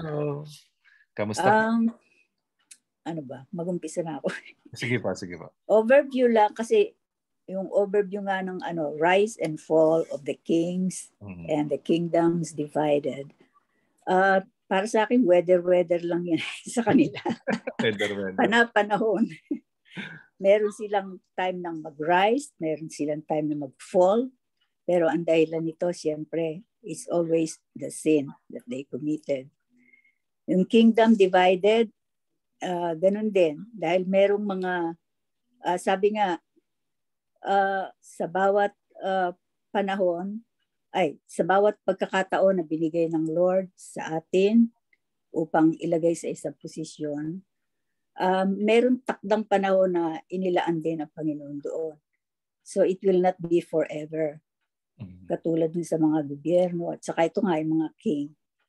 So that is the uh, fact na talagang ang Panginoon ay nagtatakda ng talagang uh, panahon sa bawat uh, binibigay sa ating opportunity. Mm-hmm. Tapos, in every government or kingdom, there will always be two sides of the coin. Meron pro, meron con. At yon ay totoo doon sa panahon ng mga anong yon. Meron silang mga uh, anong tawag doon, hindi pagkakaunawaan doon. Ganun din sa present ng mga government sa atin. Kaya nga merong ano eh, pros and merong cons. Pero ang dapat nating uh, siguro na maging attitude dito ay yun nga, hingi natin sa Panginoon ang tunay na ang um, wisdom para maging ano tayo, uh, maging matagumpay doon sa binigay sa ating pagkakataong yun. So yun lang, basta maging stay true to the Lord at saka focus tayo at kung ano man yung mga problema, eh dali natin to sa Panginoon para tayo bigyan ng gabay. Yun lang. Amen. Amen. Thank you, Tita Minda. Minsan napapaisip din ako, eh, parang, kasi lagi na lang na may rise, may fall. Di ba? Kahit saan eh. Yeah. Kahit organization, churches, or kingdoms, or bansa. Minsan may rise, may fall. Minsan napapaisip ako, yeah. Lord, possible ba na puro rise lang? Di ba? Parang puro puro puro panalo lang, no? Pero kung titingnan natin, yun ang, yun ang intention ni Lord eh. Di ba? Parang kung magiging obedient tayo sa Kanya, magiging faithful, hindi natin ma-experience yung fall. Puro rise, di ba? Uh, eventually kasi yan yung ma, isa perfect kingdom niya sa ano sa heaven, di ba? Yun na ma-experience natin. So puro rise lang, parang walang failure, puro puro panalo, parang gano'n. Pero yun nga, kaya ini-encourage tayo ng Biblia, sabi sa sa sa sinulat ni Peter, uh, be holy for I am holy, sabi ng Panginoon, no? Kumbaga ma, ma, para sa atin parang nako long tall order naman yan, Lord, ang hirap maging holy kaya. Pero posible, pinakita ng Panginoon, di ba? Kasi ang problema, hindi pa natin sinusubukan, sinasabi na natin na no. Kaya dapat eh simulan natin, subukan natin paunti-unti hanggang sa ma-practice tayo ng ma-practice at uh, ma-experience natin yung puro rice, di ba? So malay natin eh posible naman talaga, di ba? I'm sure it's possible kasi yun ang intention ni Lord. Thank you Tita Minda. Let's go to uh, Giselle. Come in, Giselle. Good evening po. Good evening. Uh, my takeaway po for tonight is lahat po tayo ay may choice on how we can handle the difficulties of life. Mm-hmm. Yung mga nagtitiwala po kay God can expect divine assistance in their lives and those who chose to ignore Him can expect to face disaster alone. Amen. Amen. Lang po. Diretso yun ha. Diretso. Diretso yung sinabi niya. Uh, can face disaster alone. Thank you, Giselle. Let's go to uh, Tita Fe Dumok's house. Tita Fe, your turn. Good evening. Happy birthday sa'yo.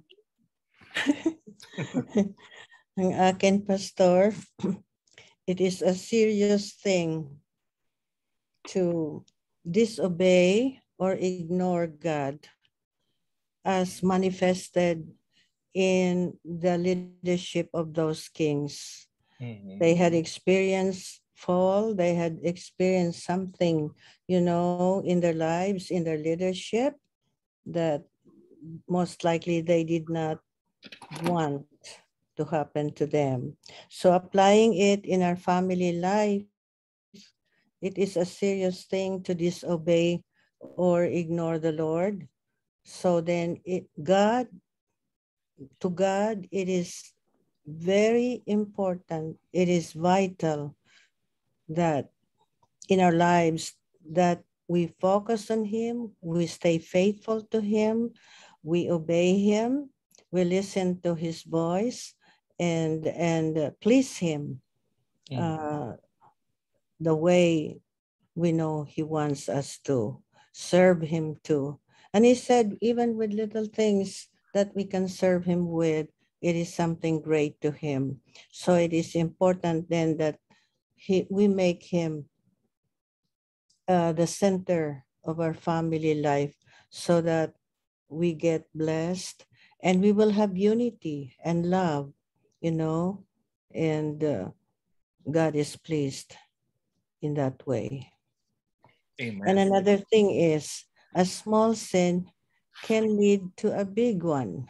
Mhm. So when there is a temptation, maybe to our eyes it is nothing, and we know that it probably is something that God is not does not approve of it. We try to evade it because we know that when we get into that sin, though how small it is, it can lead to a big one. And then we go against the will of God. And there's always a consequence that we suffer. Another is we have to learn a lesson from the life of others. If someone fails, we analyze, it's good to ponder why. And then we avoid it. Yun ang ano ko, Pastor. Amen. And and also there is what we call transference of spirits. Uh, the Bible wicked king. And because Jezebel was her, his partner, we know fully well the kind of spirit Jezebel had, Mhm. and most likely he was influenced and uh, um, evil, evil overcame his life. And so he became the most wicked king in the land. Yan lang, Pastor. Amen. Amen. May binanggit si Tita Fe na listening, ah, part din ng listening nga pala, remind ko kayo na yung praise and worship, the Lord can also talk to you through praise and Yes, yes. While that's- while sa praise and worship natin, kumakanta pa lang tayo, pwede na kayong kausapin ng Panginoon. So do not miss do not miss the praise and worship yung part. So come to church early and uh, magandang relax ka na alam nyo, uh, gusto kong bigyan ng pagpupugay din yung praise and worship team na they really practice talaga very hard on Saturday Mhm. no, sa pangunguna ng mga worship leader natin, ni Pastor T, ng marami pa nating ano. Tapos, hindi lang yun. They come early on a Sunday. Tapos, tapos na nila yung kanilang, napasad, napasada na nila yung kanilang uh, line up mga 10 minutes before, 5 minutes before 9 o'clock. They're there, ready. I mean, ano yun, Mhm. talagang nakatayo na sila doon. Pag patak na 9 o'clock, kakanta't kakanta yan kahit nandyan tayo o wala. Kasi nag-worship sila hindi dahil sa dahil sa nandyan tayo eh. Nag-worship sila dahil nag-worship sila sa Panginoon. Ang Diyos naman di nalilate.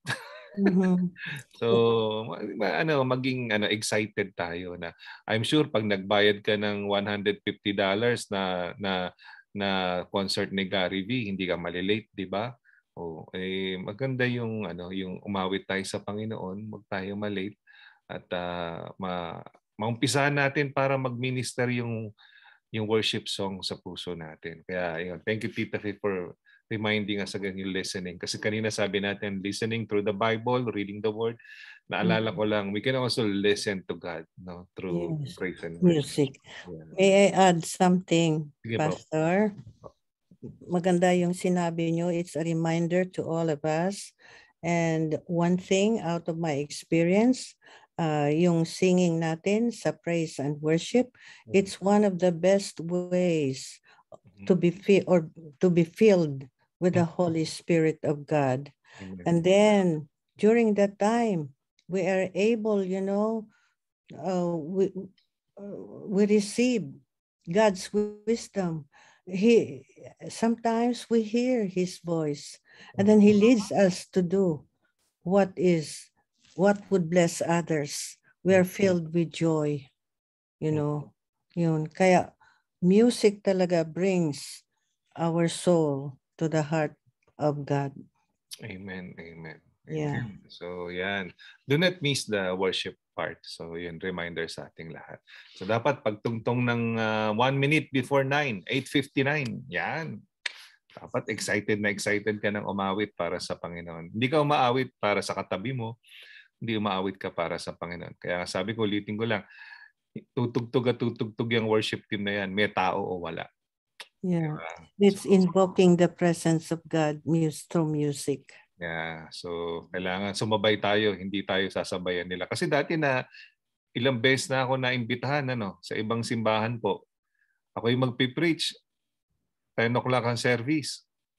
Sabi ko, ba't di pa po nagsisimula? Eh, wala pa po kasi yung, ano, yung iba pong member, inihintay pa. Oo, oh, sabi ko, yun na pala si Lord. yung mga malalaking titer, hinihintay. so, huwag natin kalimutan na ang Lord nandun na. So siya yung kakantahan natin, hindi naman yung itong mga members, di ba? So kaya may tao wala, magsimula. Kaya kabilin-bilinan ko yan sa worship team natin. Huwag kayong tumingin kung may tao wala. Diba? Anyway, mapupuno naman eh. Di ba? Pagdating naman ng mga 9, 9.05, 9.10, andyan na yung tao, dumadagsa na. Huwag mo yung hanapin yung tao, hanapin yung Espiritu ng Diyos. Doon tayo manalangin at magpuri. Amen? Thank you, Tita Fe. All right, punta tayo sa kung merong Ben and Ben. Meron tayong Fe and Fe. So, tsaka meron din tayong Noel and Noel. Yeah. At saka, Pastor, before I forget, Pastor, uh, kung pwede, we will, let's pray. Oh, there's a request for prayer for uh, someone who has, I think, a tumor in her breast. Okay po. So, ganun. Mamaya, Pastor. Sige po, mamaya po isulat natin yung mga prayer request. Go ahead, Tita Pepot. Your turn.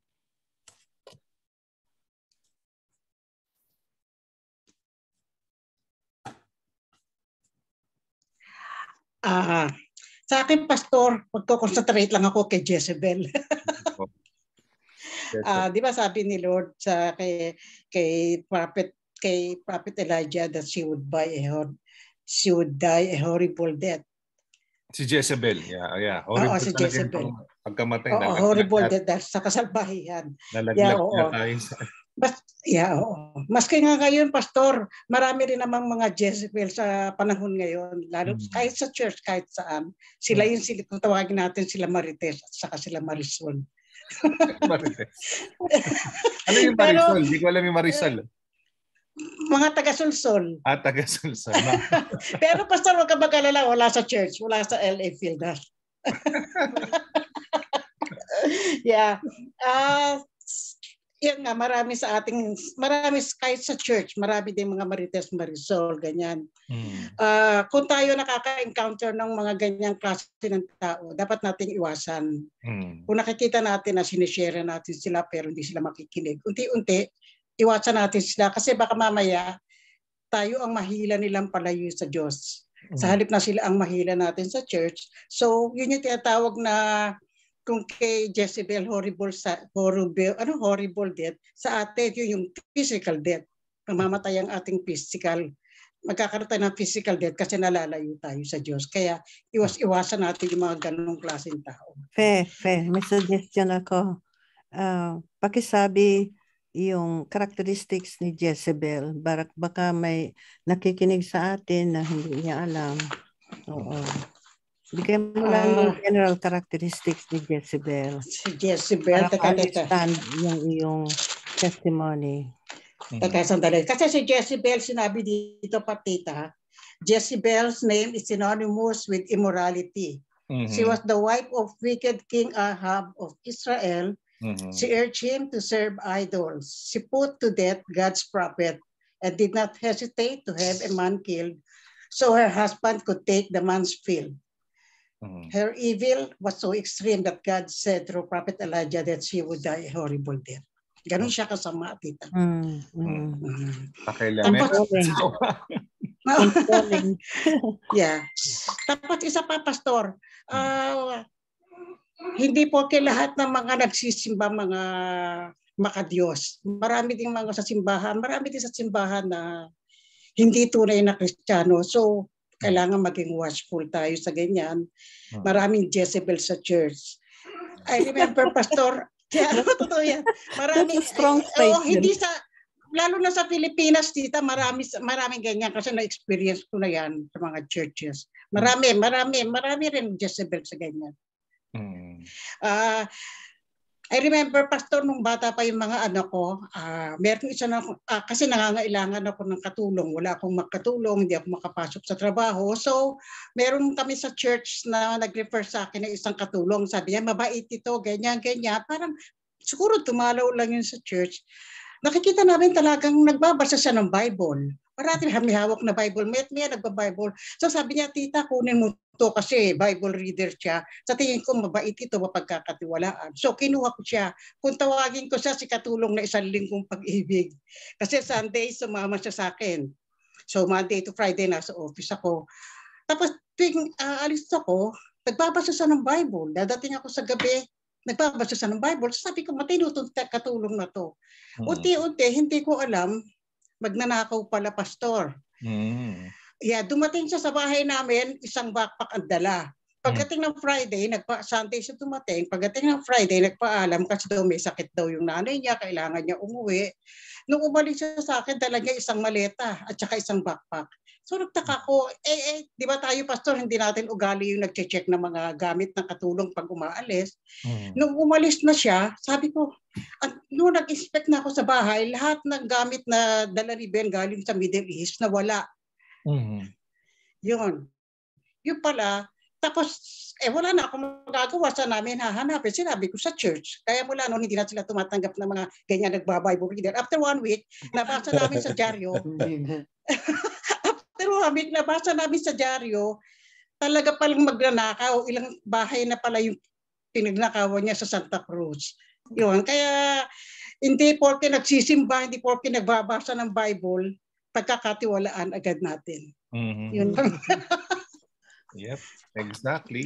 Hindi naman kaya Bible ang ninanakaw. Hindi eh. Mga gamit namin na wala na, nasimot eh. Isang maleta eh. Oo, so background nga kay Jezebel. Si Jezebel ay asawa ng hari, hindi sa Judah, sa, sa Kingdom of Israel, nandun sa kabila, nasa northern part. Ngayon, itong si Jezebel na to, pakialamera to eh. So, yung pagre-reign ng asawa niya, pinapakialaman niya, pumapatay siya ng mga propeta. So, masama siya, masama siyang babae. So, ngayon, ang sinasabi dito, pagka binabanggit na spirit of Jezebel, ay iwasan natin kasi nga ah, ang ang kanyang intention ay discord, disunity at saka hindi ang baga nagkakagulo-gulo dahil sa kanya. Yung kasi yung spirit na pinakita ni Jezebel. No, ngayon sa sa isang uma linawin natin mas maganda na kapag may pumasok sa simbahan, lahat 'yan ituturing natin na uhaw na usa no sabi nga ng Biblia as the deer panted for the water di ba Ah, so my soul ah, panted for thee. So ibig sabihin eh mga uhaw na usa yan nag naghahanap ng tubig na tubig na buhay ng Panginoon na pinapainom sa kanila. Ito ang siste. Hindi lahat ay pag pumasok ng simbahan, Kristiyano na at hindi lahat ay pag nagbasa ng Bible, Kristiyano na.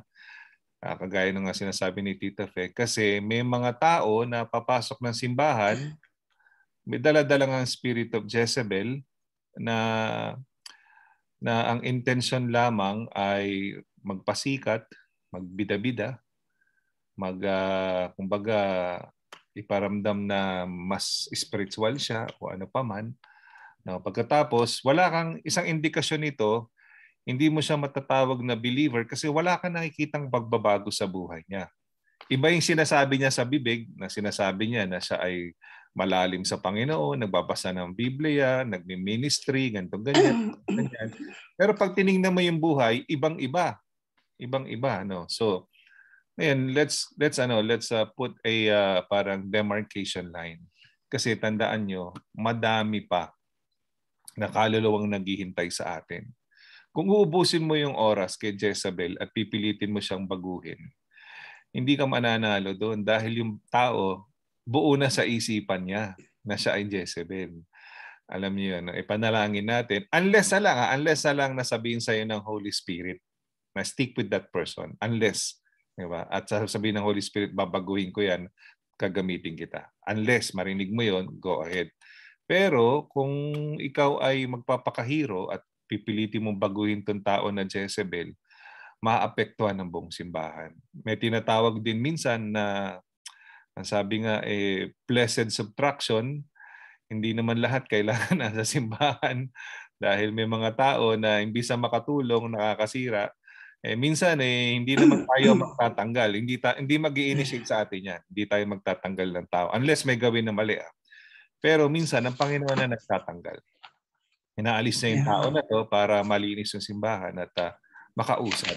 Ano Pero tayo bilang Kristiyano, hindi natin hindi natin ano intensyon na magtanggal ng kahit sino man kahit na may spirit of Jezebel pa yan unless may gawing hindi maganda na talagang obvious sa obvious na nakita natin na halimbawa eh ng ng hipo ng bata o whatever what I don't know no? Kumbaga yung talagang kita mo na mali ang ginawa then we remove the person. Pero kung yung tao pretending na na siya ay isang uh, uh, very uh, uh, highly spiritual Christian pero iba na ng pamumuhay, hindi natin tatanggalin sa church kasi we're still hoping na that person will uh, be changed by God kasi hindi hindi natin hindi natin trabaho 'yon, trabaho ng Diyos 'yon.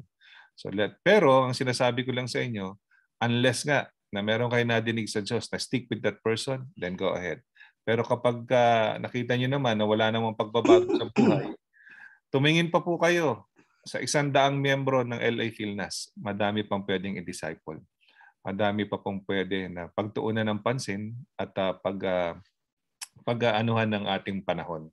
No, kumbaga kasi isang araw hindi mo magugulat ka baka ikaw ay madamay ka na sa Kaya meron kaya merong warning ang Bible eh.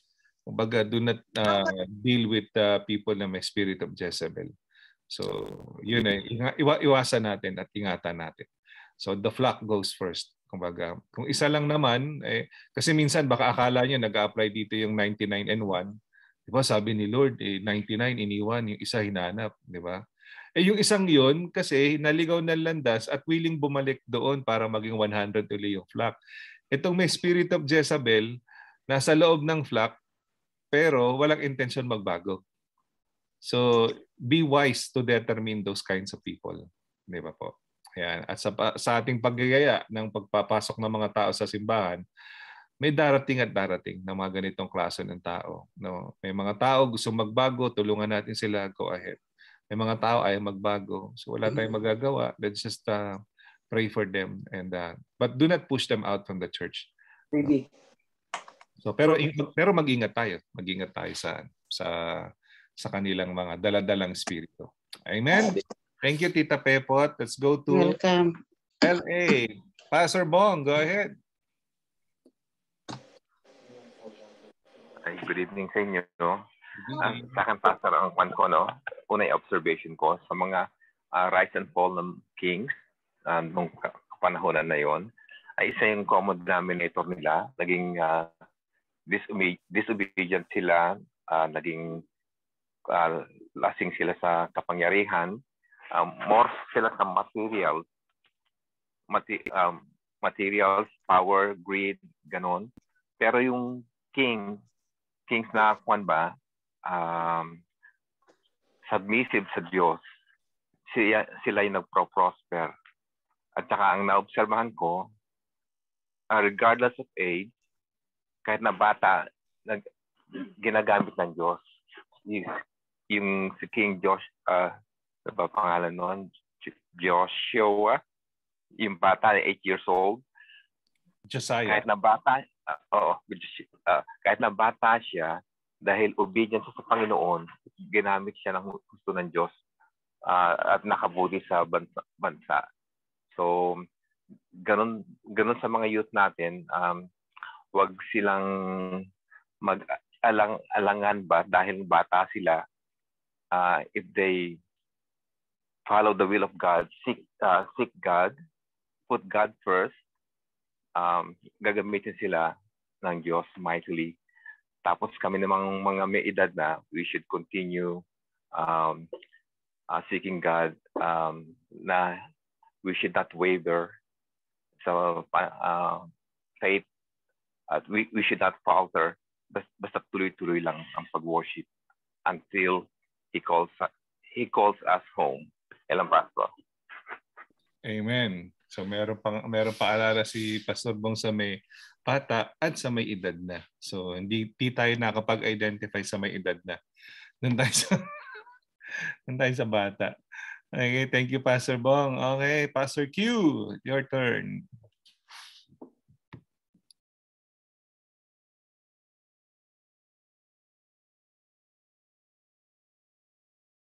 Hello. Oh. Ah, ah, yeah, turn. Ah, okay. Um, ako naman po sa uh, kay Jezebel po, parang meron po siyang part na sinabi na na gusto niyang eradicate yung mga prophets, tas yung, yung spirit of revenge.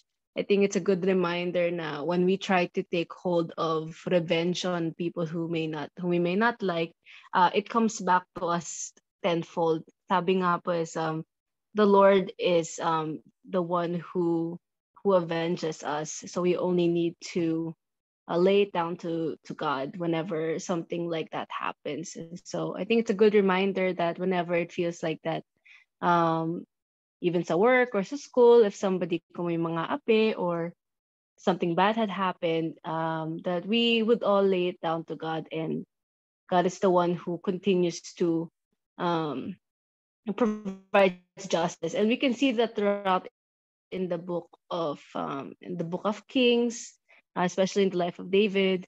So uh, especially in the life of David, we see that because um, David took his time before he took his place as king, and he he didn't. Um, he could have um, gotten revenge on Saul whenever he tried to um, to kill David, but David was patient and let God do the work instead of of him taking revenge in his own hands. So.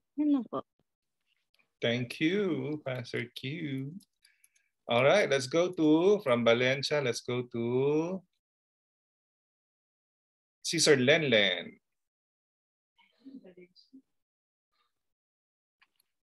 Sister Lenlen. Sister Lenlen. Okay, lagpasan mo na. Hello? Go ahead, go ahead, Tita Lenlen. Malinaw ba? Parang nag-echo. Malinaw po, malinaw, Ah. malinaw. Malinaw.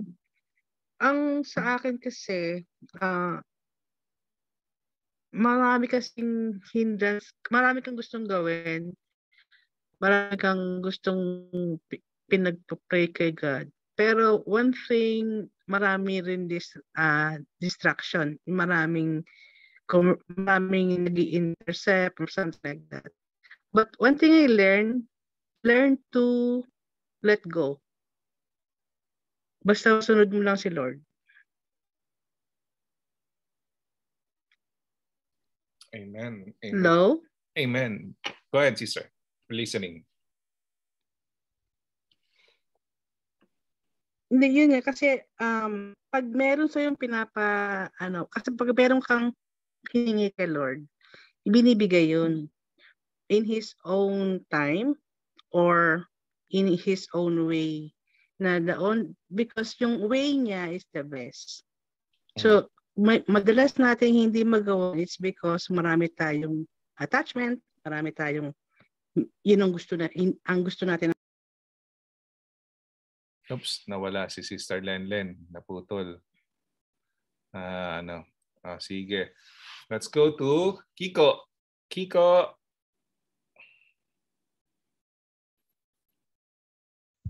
Ayan, bumalik na si Sister Lenlen. Ah, Kiko, san, Kiko, sandali ah. Ah, Sister Lenlen, naputol ka. Hello? Okay, sige. Balikan natin si Sister Lenlen mamaya. Ah, go ahead, Kiko. Okay po. Ang takeaway ko po, um, based on the history na uh, yung disaster na nangyayari sa sa mga tao at also difficulties naman. Ang dapat gawin ay wag mag ay wag mawalan ng pag-asa. Mm-hmm. Um, ang dapat po ay maging matatag at patuloy pa rin and ask to God for help. Huwag po hayaan yung yung masamang yung masamang nangyari ay yung sa masamang loob at yung, yung at saka yung galit sa ano natin sa dibdib dahil wag gawin yung dahilan um, dapat maging awit tayo sa lahat at matuto makinig sa mga salita mo. Yun lang po. Amen. Amen. Thank you, Kiko. Let's go to Sister Darren and Brother Noel. Go ahead. Sister Darren, Brother Noel.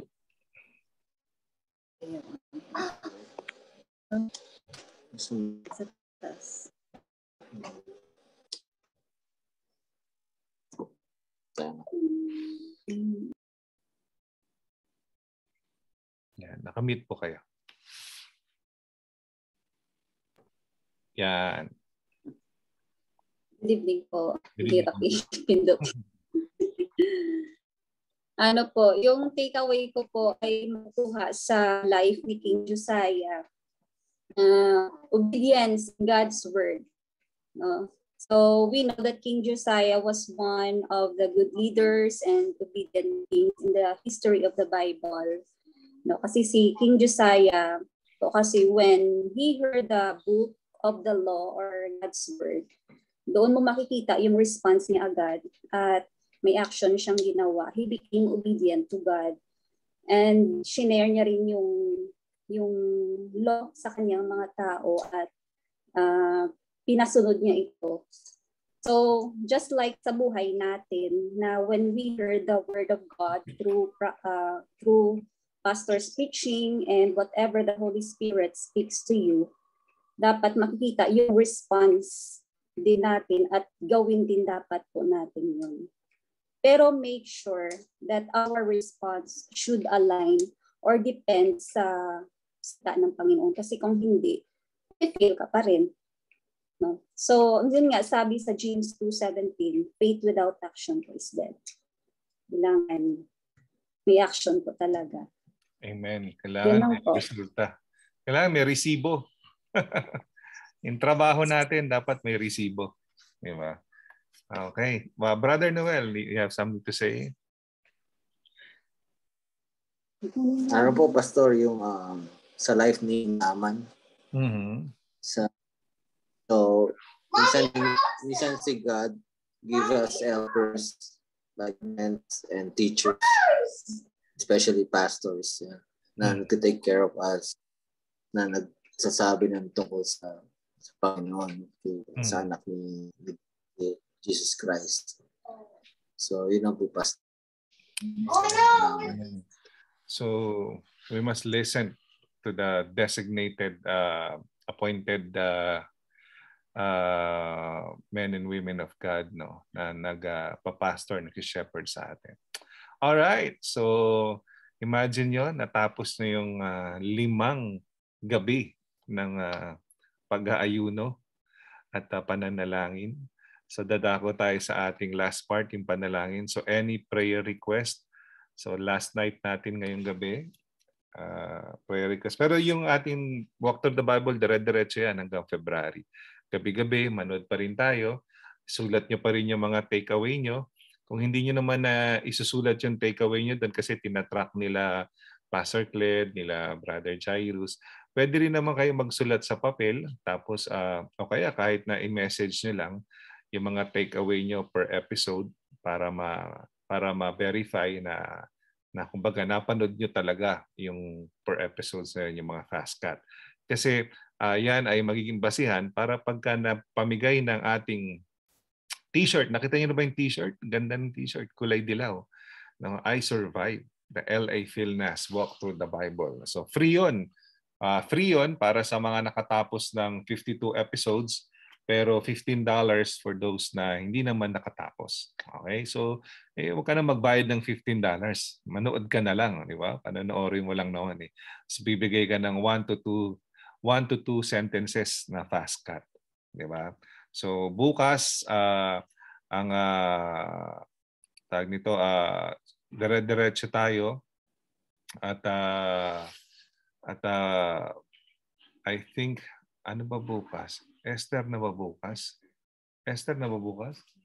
Parang hindi, parang hindi pa. Uh, double check ko. Ako ito ko, nalimutan ko na. no, no, not Job. Not Job. Uh, ano? Ezra. Ezra, Ezra. Kasi Esther, Ezra.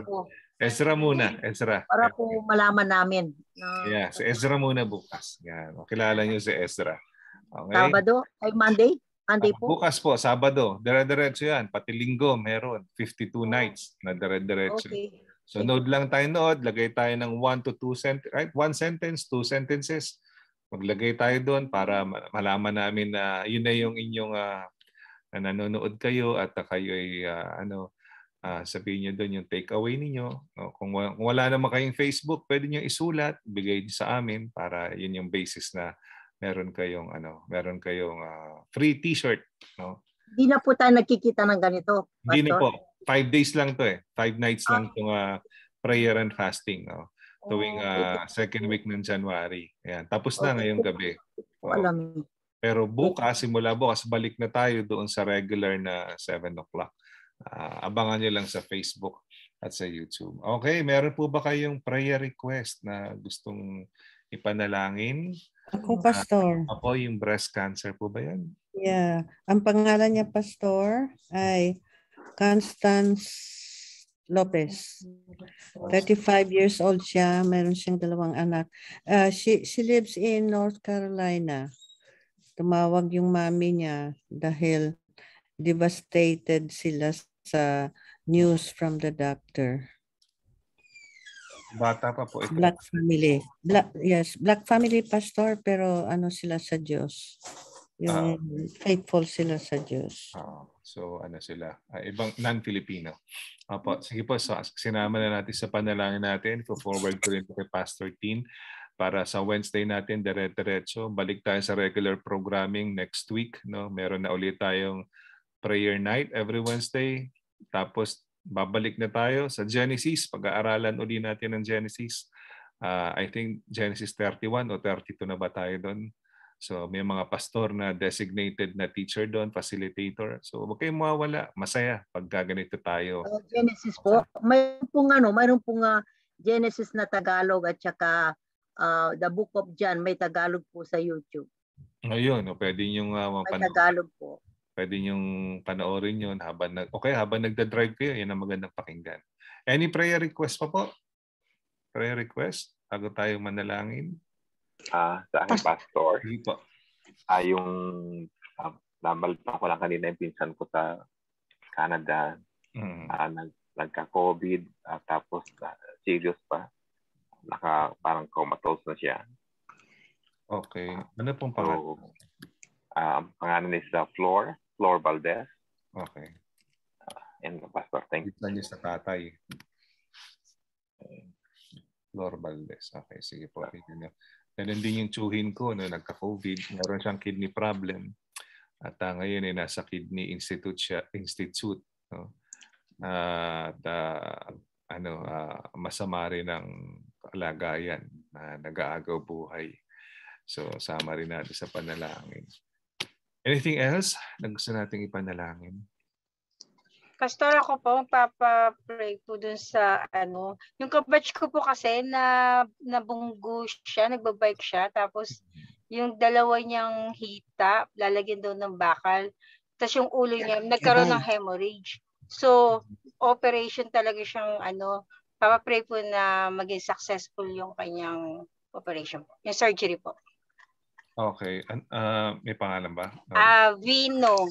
V-I-N-O Feliciano. Okay. Nasa Pilipinas po siya. Fino Feliciano. Apo. Thank you po. Okay. Wala siyang helmet? Wala po eh. Nagkasam, ano, nagkasalpukan daw sila ng motor. Motor daw. Pareho wow. silang nasa hospital ngayon eh. Yeah. Okay. Anything else?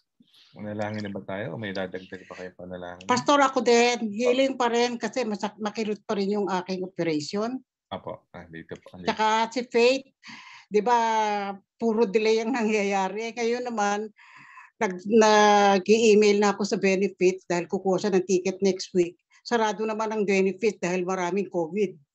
Kaya ang daming delay niya eh. Hindi ko alam kung anong purpose. Sige po, sasama na. Na sana po makakuha na siya ng ticket next week. Kasi nadidelay din ang operation ni Stephen eh. Ah, okay, okay. Okay. Kailangan lang ba ng kasala, kasama ni Stephen? Pwede nating Samahan. Hindi, kasi ang kailangan namin dito, pastor, yung gagawa dito sa bahay. Kasi si ah, Stephen okay. magkakas ng three weeks. Tapos ako naman, di ako pwedeng gumalaw-galaw pa. Kumikirot kasi. Ah, akala Kaya talagang kailangan siya dito. Samahan lang. Alam ko samahan lang si Stephen eh. hindi, hindi. Kasi magkakas siya ng three weeks. Kasi hindi ko rin siya, hindi rin siya makakagalaw. Paggagawa, paggagalaw pala sa bahay. Hintayin na natin si Faith. eh, ang benefits eh, sinasabihan ko na nga na talagang urgent eh. Eh, wala. Tapos nagsara sila daw ngayong week. Kaya hmm. hopefully magbukas next week. Sige po. Okay, meron pa po ba dagdag? Mananalangin na tayo? Okay na? Sige po, let's bow our heads, uh, close our eyes, let's all pray. Manalangin po tayo. Salamat Panginoon sa limang araw na napaka-productive. Madami kami natutunan. Uh, talagang uh, pinuspos mo kami ng iyong karunungan, Panginoon. Maging silbi sana sa amin ito para maging uh, striking match or maging uh, pasimula para magkaroon kami ng interest magbabad sa iyong salita. Inataas namin, Panginoon, si uh, uh, mga yung mga tao na apektado ng COVID-19 ngayon, Panginoon, na uh, madami pong may sakit. Lalo na po si uh, Romy Giwa, uh, may kidney problem din po siya, Panginoon. Dalangin din namin si uh, uh, Flor Valdez, Panginoon, na pinsan ni Pastor Bong na, na sasuffer ngayon sa comatose, na pagisingin mo siya, Panginoon. Ipuin niyo po siya, Panginoon. Iligtas niyo po sila, Panginoon. Dalangin namin, Panginoon, ang mga kapatid namin sa New Hope NAS na ingatan niyo po sila. Uh, makabalik po sila sa pagsisilbi sa inyo, Panginoon. Uh, dalangin namin ang proteksyon sa mga kapatid namin, kamag-anak na health, home health nurses, mga frontliners, mga nag-aalaga sa uh, mga caregivers, Panginoon. Uh, dalangin namin uh, si LJ Plan, si Jairo, si Ang Acosta, Angeles Tumok family, mga frontliners sa kanila si James, si Joanne, si King, si Wedge, Panginoon, ng mga nurses na naka-expose sa mga pasyente, Panginoon. Lahat po ng mga LA PhilNAS members, Panginoon, na umaattend sa amin. Uh, ingatan niyo po, uh, lalo na paglinggo sa uh, Courtyard Fellowship din at ganun din sa volleyball na amin pong gaganapin. Dalangin namin, Panginoon, si Joey, nabigyan niyo po ng matitirhan, Panginoon, na, na bagong place kung saan siya pwedeng lumipat Uh, inaangat namin sa inyo si Jaya, Panginoon, at si Derek uh, na biyayaan niyo po sila ng isang anak, Panginoon. Uh, dalangin namin si Tita Pepod na hindi niya kailanganin ang chemo pills, Panginoon, at uh, mawala yung pain niya due to operation, Panginoon. We lift up to you, Panginoon, lahat ng mga may birthday ngayon. Itong January na to, Panginoon, sina James, sina Wedge, sina, sina Jasmine, sina Tita Faye, at marami pang iba, Panginoon. Pagpalain niyo po sila. Dalangin namin, Panginoon, uh, uh, ang mga anak ni Sister Nancy, Panginoon, salamat at uh, may COVID clearance na si Ryan. Dalangin namin si Melody, Panginoon, na ingatan niyo rin po sila. Ang Demesa family, na patuloy po, Panginoon, na nag-grieve sa pagkawala ng kanilang ama. Kayo po maging uh, uh, comfort and peace, Panginoon. We pray for faith na makakuha ng ticket, Panginoon, agad-agad pamunta sa Amerika para magkasama po silang pamilya, Panginoon. We pray for protection kay Hazel, kay David, Lord God, sa COVID, and also sa successful uh, surgery ni Stephen, Panginoon, sa kanyang bunions, Panginoon. Uh, we pray, Lord God, for uh, uh, negative uh, COVID test ni Noel Madrid, Panginoon. We pray, Lord, for uh, sa breast tumor, Panginoon, ni Constance uh, Lopez, uh, na taga North Carolina, Panginoon, na bata pa, na 35 lang, may dalawang anak, na ikaw po ang uh, umipo sa kanya at pagalingin siya ngayon. Talangin din namin, Panginoon, yung batchmate ni Sister Jasmine na may hemorrhage dahil sa uh, motorcycle accident, Panginoon na magkaroon siya ng successful surgery. Hipuin mo si Vino Feliciano, Panginoon, sa mga araw na to at uh, pagalingin niyo po siya. Salamat Panginoon sa mga sa citizenship ni Sister Jaya, sa paggaling ng uh, Mendez and Ruiz family from COVID-19, mga negative test, Panginoon, na nakukuha namin sa lahat ng mga members namin, Panginoon. Pagpalain niyo, Panginoon, yung valuable event namin sa Sunday. Uh, pagpalain niyo lahat ng mga workers namin na patuloy naglilingkod. Uh, patuloy kayong mangusap sa puso namin, Panginoon, at patuloy niyo kami palaguin. Gamitin niyo ang Lafilnas para sa uh, uh, kaluluwatian niyo, Panginoon. Hindi po kami ang maging bida, kundi kayo po, Panginoon. Maraming salamat. Ito po ang aming uh, samot-saring dalangin in Jesus' name. Amen. Amen. Amen. Amen. Happy last day, happy Friday. So mag-picture-picture na tayo. Oh. Tapos ang ating unang uh, ating kauna-unahang uh, prayer and fasting ngayong taon. Ang next prayer and fasting natin ay mid-year nagaganapin sa July. So limang uh, gabi ulit tayo magsasama-sama na parang ganito. So okay, one, two, three, smile. There you go. Uh, God bless you guys. Happy Friday. Hi. Sunday. Thank you. Workers, see you tomorrow. God bless you. Bye. Bye-bye. Bye. Bye, Bye, sir.